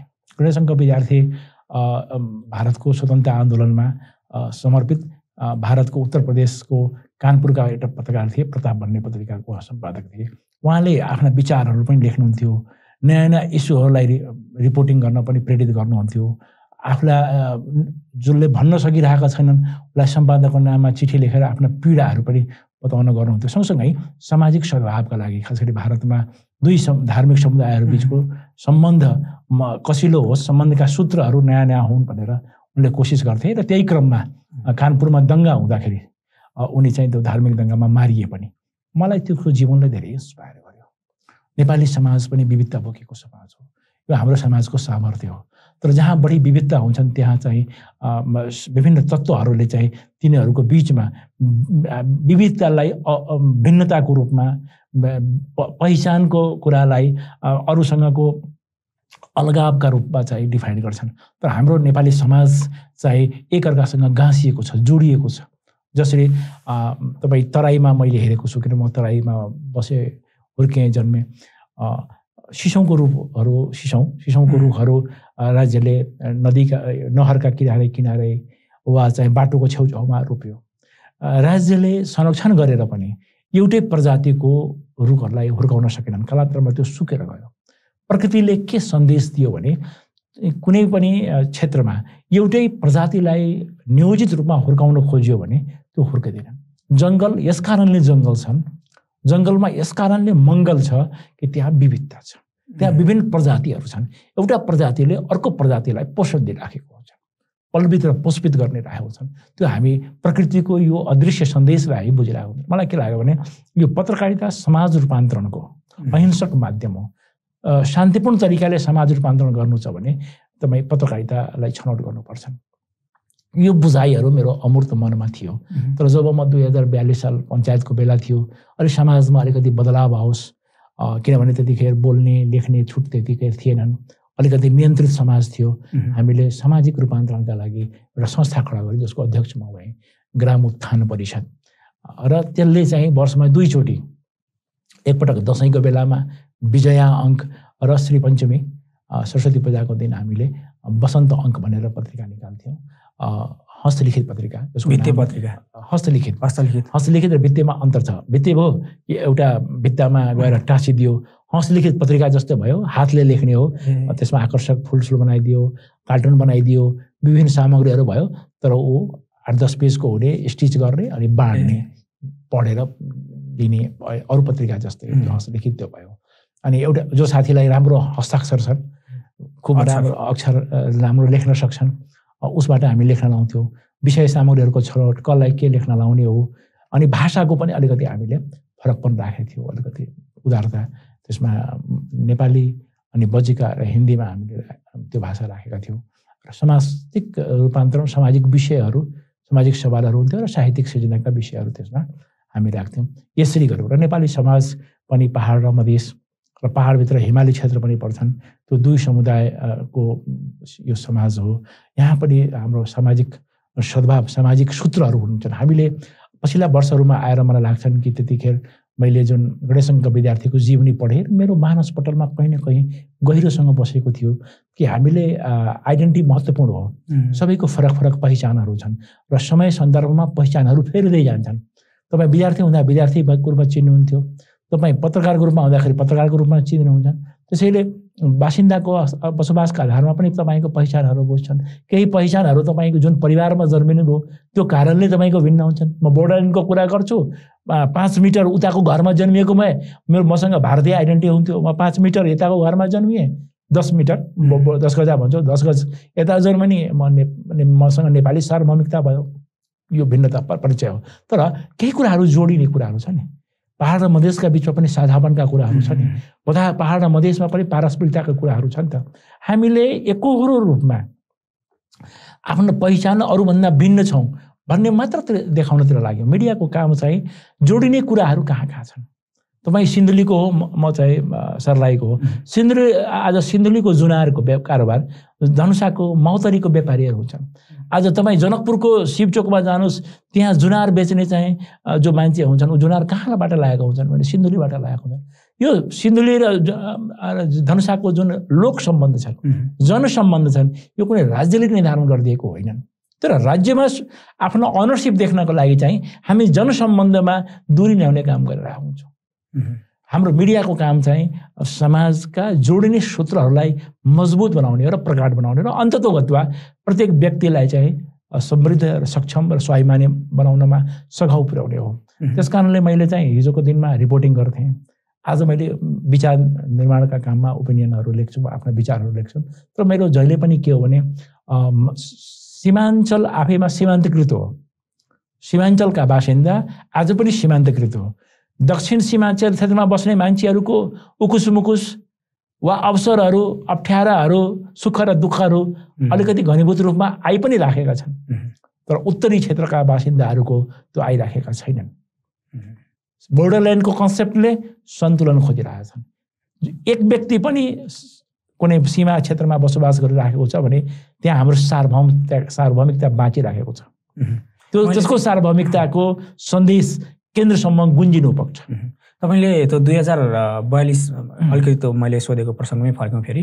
दुई हजार बयालिस सालमा हाते पत्रिकाबाट सुरु गर्नुभएको पत्रकारिता चाहिँ अब अहिले तपाईँ लगभग लगभग चालिस बयालिस भनेपछि त लगभग लगभग दुई दशकभन्दा बढी नै भयो। अनि दुई दशक होइन चार चार चार दशक आसपास नै भएछ होइन। यति लामो समयसम्म पत्रकारितामा हुनुहुन्छ होइन? विभिन्न त्यसरी सुरु गर्नुभएको पत्रकारिता विभिन्न सञ्चार माध्यम हुँदैमा काम गर्दै आउनुभयो। आफ्नो अलिकति पत्रकारिता जर्नीलाई यसो पछाडि फर्केर हेर्दा कस्तो लाग्छ? के के गरिएछ? के के गर्न छुट्याइएछ? त्यसरी कहिले सम्झिनु भएको छ? म एउटा चाहिँ एउटा हाम्रो उर्दूको एउटा शेर भन्छु कि हमें अपना दुख बताना नहीं आता। हमें अपना दुख बताना नहीं आता तो आपको भी तो अंदाजा लगाना नहीं आता। म जतिखेर पत्रकारितामा सक्रिय रूपमा आएँ र व्यावसायिक पत्रकारितासँग आफूलाई आबद्ध गरेर गरेँ त्यतिखेर अवसरहरू थियो। म जो केन्द्र आज पनि काठमाडौँ छ त्यहाँ आएर पत्रकारिता गर्न सक्थेँ। तर मलाई के लाग्यो भने समाज रूपान्तरणको अहिंसक माध्यम पत्रकारिता हो भने तपाईँ जहाँ हो त्यहीँ नयाँ नयाँ सम्भावनाहरू खोज्नुपर्छ। म काठमाडौँमा भएको भए बोर्डर लाइनको कुरा गरिदिन्थेँ। म काठमाडौँमा भएको भए म देहात सम्वाद गर्दै हिँड्दैनथेँ म काठमाडौँमा भएको भए एउटा नेपालको मुख्य धारको पत्रिका कान्तिपुरमा म डेटलाई तराई लेखिरहेको थिएँ म नेपाली टाइम्समा बोर्डर लाइन्स लेख्ने अवसर पाउँदैन थियो म काठमाडौँ बाहिर म जहाँ थिएँ त्यहीँ पत्रकारिता सुरु गरेँ र यो अवसर पाएँ। तर पनि लेख्ने पर्ने विषयहरू प्रशस्त छन्। गर्नुपर्ने कामहरू प्रशस्त छन्। र मलाई के लाग्छ भने तपाईँ सिक्न जुन दिन छोडिदिनुहुन्छ त्यो दिन चाहिँ समाप्त हुनुहुन्छ। त्यो सिक्ने दुईवटा कुरा हो। एउटा त के हो भने तपाईँ जुन समाजमा बसिराख्नु भएको छ जुन क्षेत्रमा बसिराख्नु भएको छ त्यहाँको आपसमा आन्तरिक सम्बन्ध कस्तो छ? त्यसको राज्यसँगको सम्बन्ध कस्तो छ? र त्यो जुन काम तपाईँ गर्दै हुनुहुन्छ लेख्दै हुनुहुन्छ तपाईँभन्दा अघिले कसरी गरिराखेको छ त्यसलाई पनि तपाईँ आफ्नो आलोकमा राख्नुभयो भने तपाईँको पेसालाई अझ बढी परिपक्व बनाउँछ र अझ बढी तपाईँ निपुणताका साथ काम गर्न सक्नुहुन्छ भन्ने मलाई लाग्छ। मलाई लाग्छ जुन बाटो मैले कोर्न खोजिरहेको छु तराई नै आफैमा पहिला बिट थिएन तराई एउटा बिटको रूपमा आयो होइन? त्यसपछि मैले देहात भन्ने कुरा पायो। किनभने बहुतहको सरकारमा संरचनामा जान थाल्दाखेरि त्यो डिस्कोर्स आएपछि समग्र विकासको अवधारणामै भिन्नताको खोजी भयो। रुरल डेभलपमेन्ट कसरी गर्ने होइन? अर्बन डेभलपमेन्ट कसरी गर्ने? त्यसको लागि मैले देहात भन्ने देहात सम्वादका कुरा गरेँ। देहातले के के अपेक्षाहरू नयाँ संरचनामा खोजिराखेको छ? त्यसको पोलिटिकल डिस्कोर्सहरूमा त्यो कसरी आउन सक्छ भन्ने कुराहरूलाई। त्यसै गरी मैले आफ्ना अवसरहरू तन्काउँदा बोर्डरल्यान्डको कुरा लगाएँ। भनेपछि तपाईँ जहाँ हो त्यही कामहरू गर्दै जाँदा आफ्नो बाटो आफै पहिल्याउन सक्नु भएन भने तपाईँ चुक्नुहुन्छ तपाईँ हराउनुहुन्छ र तपाईँको सान्दर्भिकता समाप्त हुन्छ। पत्रकारितामा प्रत्येक दिन प्रतिस्पर्धा भइरहेछ। मैले यहाँ यहीँनिर ठ्याक्कै तपाईँले एकदम त्यो राम्रो कुरा भन्नुभएको भएर। जुन तपाईँ जहाँ हो त्यहीँ बसेर आफ्नो चाहिँ सान्दर्भिकता खोज्ने भन्नु पनि। तपाईँलाई त्यति बेला चाहिँ कति पत्रकारहरू त आफ्नो ठाउँ छोडेर काठमाडौँ आएर स्थापित भए ठुला ठुला सञ्चार गृहका सम्पादक पनि भए त्यति बेला तपाईँलाई चाहिँ त्यस्तो गरौँ भन्ने चाहिँ किन लागेन के सोचेर त्यही वीरगञ्ज होइन। आसपासै बसेर मेरो? पिताजीको इच्छा थियो कि यो डक्टर बनोस् होटल डक्टर बनोस् ओके पिताजीको इच्छा थियो कि म डक्टर बनौँ हुँ। मलाई मन चाहिँ यो यस्तै लेख्ने पढ्ने कामहरूमा बढी लाग्थ्यो र मैले गणेश शङ्कर विद्यार्थी मेरो मन मस्तिष्कमा कहीँ न कहीँ उनले मलाई आएर चिमुट्ने गरिरहेको थिएँ। मलाई लाग्यो यो मैले पत्रकारिता नै गर्नुपर्छ। तर जतिखेर मैले पत्रकारिता सुरु गरेँ। यति सहज थिएन। व्यावसायिक पत्रकारिता भर्खर भर्खर छ्यालेपछि फक्रिन थालेको थियो। आर्थिक अवसरहरू कम थिए। मसँग पारिवारिक जिम्मेवारीहरू पनि थियो। त मैले अरू कामहरू पनि गरेँ। मैले ट्युसन पढाउने कामहरू गरेँ। मैले चाहिँ अन्य आय आर्जनका कामहरू पनि मैले गर्दै आफूलाई अलिकति पत्रकारितामा सर्भाइभ हुने अवस्थामा लाग्यो आज म जुन अवस्थामा छु र चन्द्रकिशोर भनेर जुन एक प्रकारको चिनारी छ त्यस त्यो त्यस त्यसको पछाडि अनन्त सङ्घर्षहरू छन् अत्यन्त कठिनाइहरू छन् अत्यन्त अप्ठ्याराहरू छन् र अत्यन्त आक्षेपहरू पनि छन्। किनभने परिवारका अपेक्षाहरू आफन्तहरूका अपेक्षाहरू। मैले कतिको पुरा गर्न सकेँ वा सकिनँ त्यो भन्ने छन्। तर एउटा व्यक्तिको रूपमा म जुन पेसामा छु त्यसमा मैले सन्तुष्टि हुने आधारहरू छन्। तर यो सन्तुष्टि समाप्ति होइनन् यो सन्तुष्टिले अझ बढी केही गरौँ भन्ने मलाई लाग्छ मैले चाहिँ तपाईँलाई काठमाडौँ आएर किन गर्नु भएन भन्ने प्रश्न। होइन म किनभने काठमाडौँ आएर भने म चाहिँ यो संहिता भनेको के हो भने तपाईँ जहाँ हुँ। त्यही तपाईँले अवसर पाउनुपर्छ आज बर्दियाको बोर्डरमा कोही चाहिँ सुरक्षाकर्मीद्वारा मारिँदाखेरि वा कोही मान्छे चाहिँ महाकाली चढ्दाखेरि तुइन काटिएर मार्दाखेरि एक्लो व्यक्तिको लागि किन केन्द्र चाहिँ चिन्तित हुन्छन्? किनभने त्यसमा एउटा सार्वभौमिकता लुकेको हुन्छ नि त। त्यो व्यक्तिमा सार्वभौमिकता सन्निहित छ नि त। संहिता भनेकै के हो भने आधुनिक राज्य निर्माण हुँदा गर्दाखेरि बोर्डरमा बस्नेहरू पनि त्यत्तिकै महत्त्वपूर्ण जति केन्द्रमा हुन्। केन्द्रमा बस नबसे तापनि बोर्डरमा बसे पनि राज्यको नीति निर्माणमा उसका आवाजहरू आउनुपर्छन् यो मान्यताप्रति म अलिक प्रष्ट थिएँ। कि काठमाडौँमा गइयो भने जुन मैले एउटा लडाइँ लडेँ जुन सङ्घर्ष गरेँ त्यो सङ्घर्ष यो रूपमा आउन सक्दैन थियो। मैले जुन बिटहरूको कुरा गरेँ त्यो काठमाडौँमा बसेर मैले व्यक्तिगत रूपमा मैले अवसरहरू धेरै पाउँथेँ होला। आय आर्जनका स्रोतहरू धेरै बढ्थ्यो होलान् होइन? मान सम्मानहरू र विदेश भ्रमणका कुराहरू बढी हुन्थ्यो होलान्। तर त्यहाँ बसेर मैले जुन आफूले सन्तुष्टि लिने जुन ठाउँहरू ओगटेँ वा पाएँ त्यो पाउ पाइँदैन थियो होला चाहिँ। मैले यहीँ रोकेर हजुरलाई जुन सन्तुष्टिको कुरा गर्नुभयो आफ्नो यो लामो पत्रकारिता करियरलाई लिएर खुसी सन्तुष्ट हुनुहुन्छ? म खुसी छु। सन्तुष्ट भन्दा पनि म खुसी छु। बिचबिचमा नि सन्तुष्ट हुनुहुन्थ्यो। आजभन्दा दस वर्ष बिस वर्ष अगाडि। स्वाभाविक हो नि। म पनि एउटा व्यक्ति हो। मेरो पनि परिवार छन्। मेरा पनि सङ्घर्षहरू छन्। मेरा पनि दैनिक दैनिक दि- अ, दिन दिनचर्याहरूसँग सँग जुझ्नुपर्ने अवस्थाहरू हुन्छन्। त्यसमा आफ्नोलाई त म एउटा कहीँ कहीँ व्यक्ति पनि त हुन्छ नि त। जहिले पनि मान्छे चाहिँ एउटा आस्थासँग निष्ठासँग जहिले पनि जोडिएको त हुँदैन नि त। त्यो कठोर सत्य हो नि त। म पनि एउटा व्यक्ति हो नि त। मेरा पनि जोडिएका एउटा इकोहरू छ नि त। त्यो इकोमा आफूलाई निराश हुने कहिलेकाहीँ अप्ठ्यारोहरू महसुस गर्ने नगरेको होइन म मान्छे त हो नि त। अब त्यो मात्र म त्यो बखान गरेर म वा त्यसलाई अतिरञ्जित गरेर पस्किन चाहन्न। त्यसैले मैले भने म जुन बाटो मैले रोजेँ त्यो बाटोमा म खुसी छु भन्ने म भन्ने जस्तो तपाईँले अघि भन्नुभयो मेरो पिताजीले चाहिँ मलाई डक्टर बनेको हेर्न. चाहनुहुन्थ्यो त्यही अनुसार तपाईँ. विज्ञान पढ्नु भएको थियो होइन?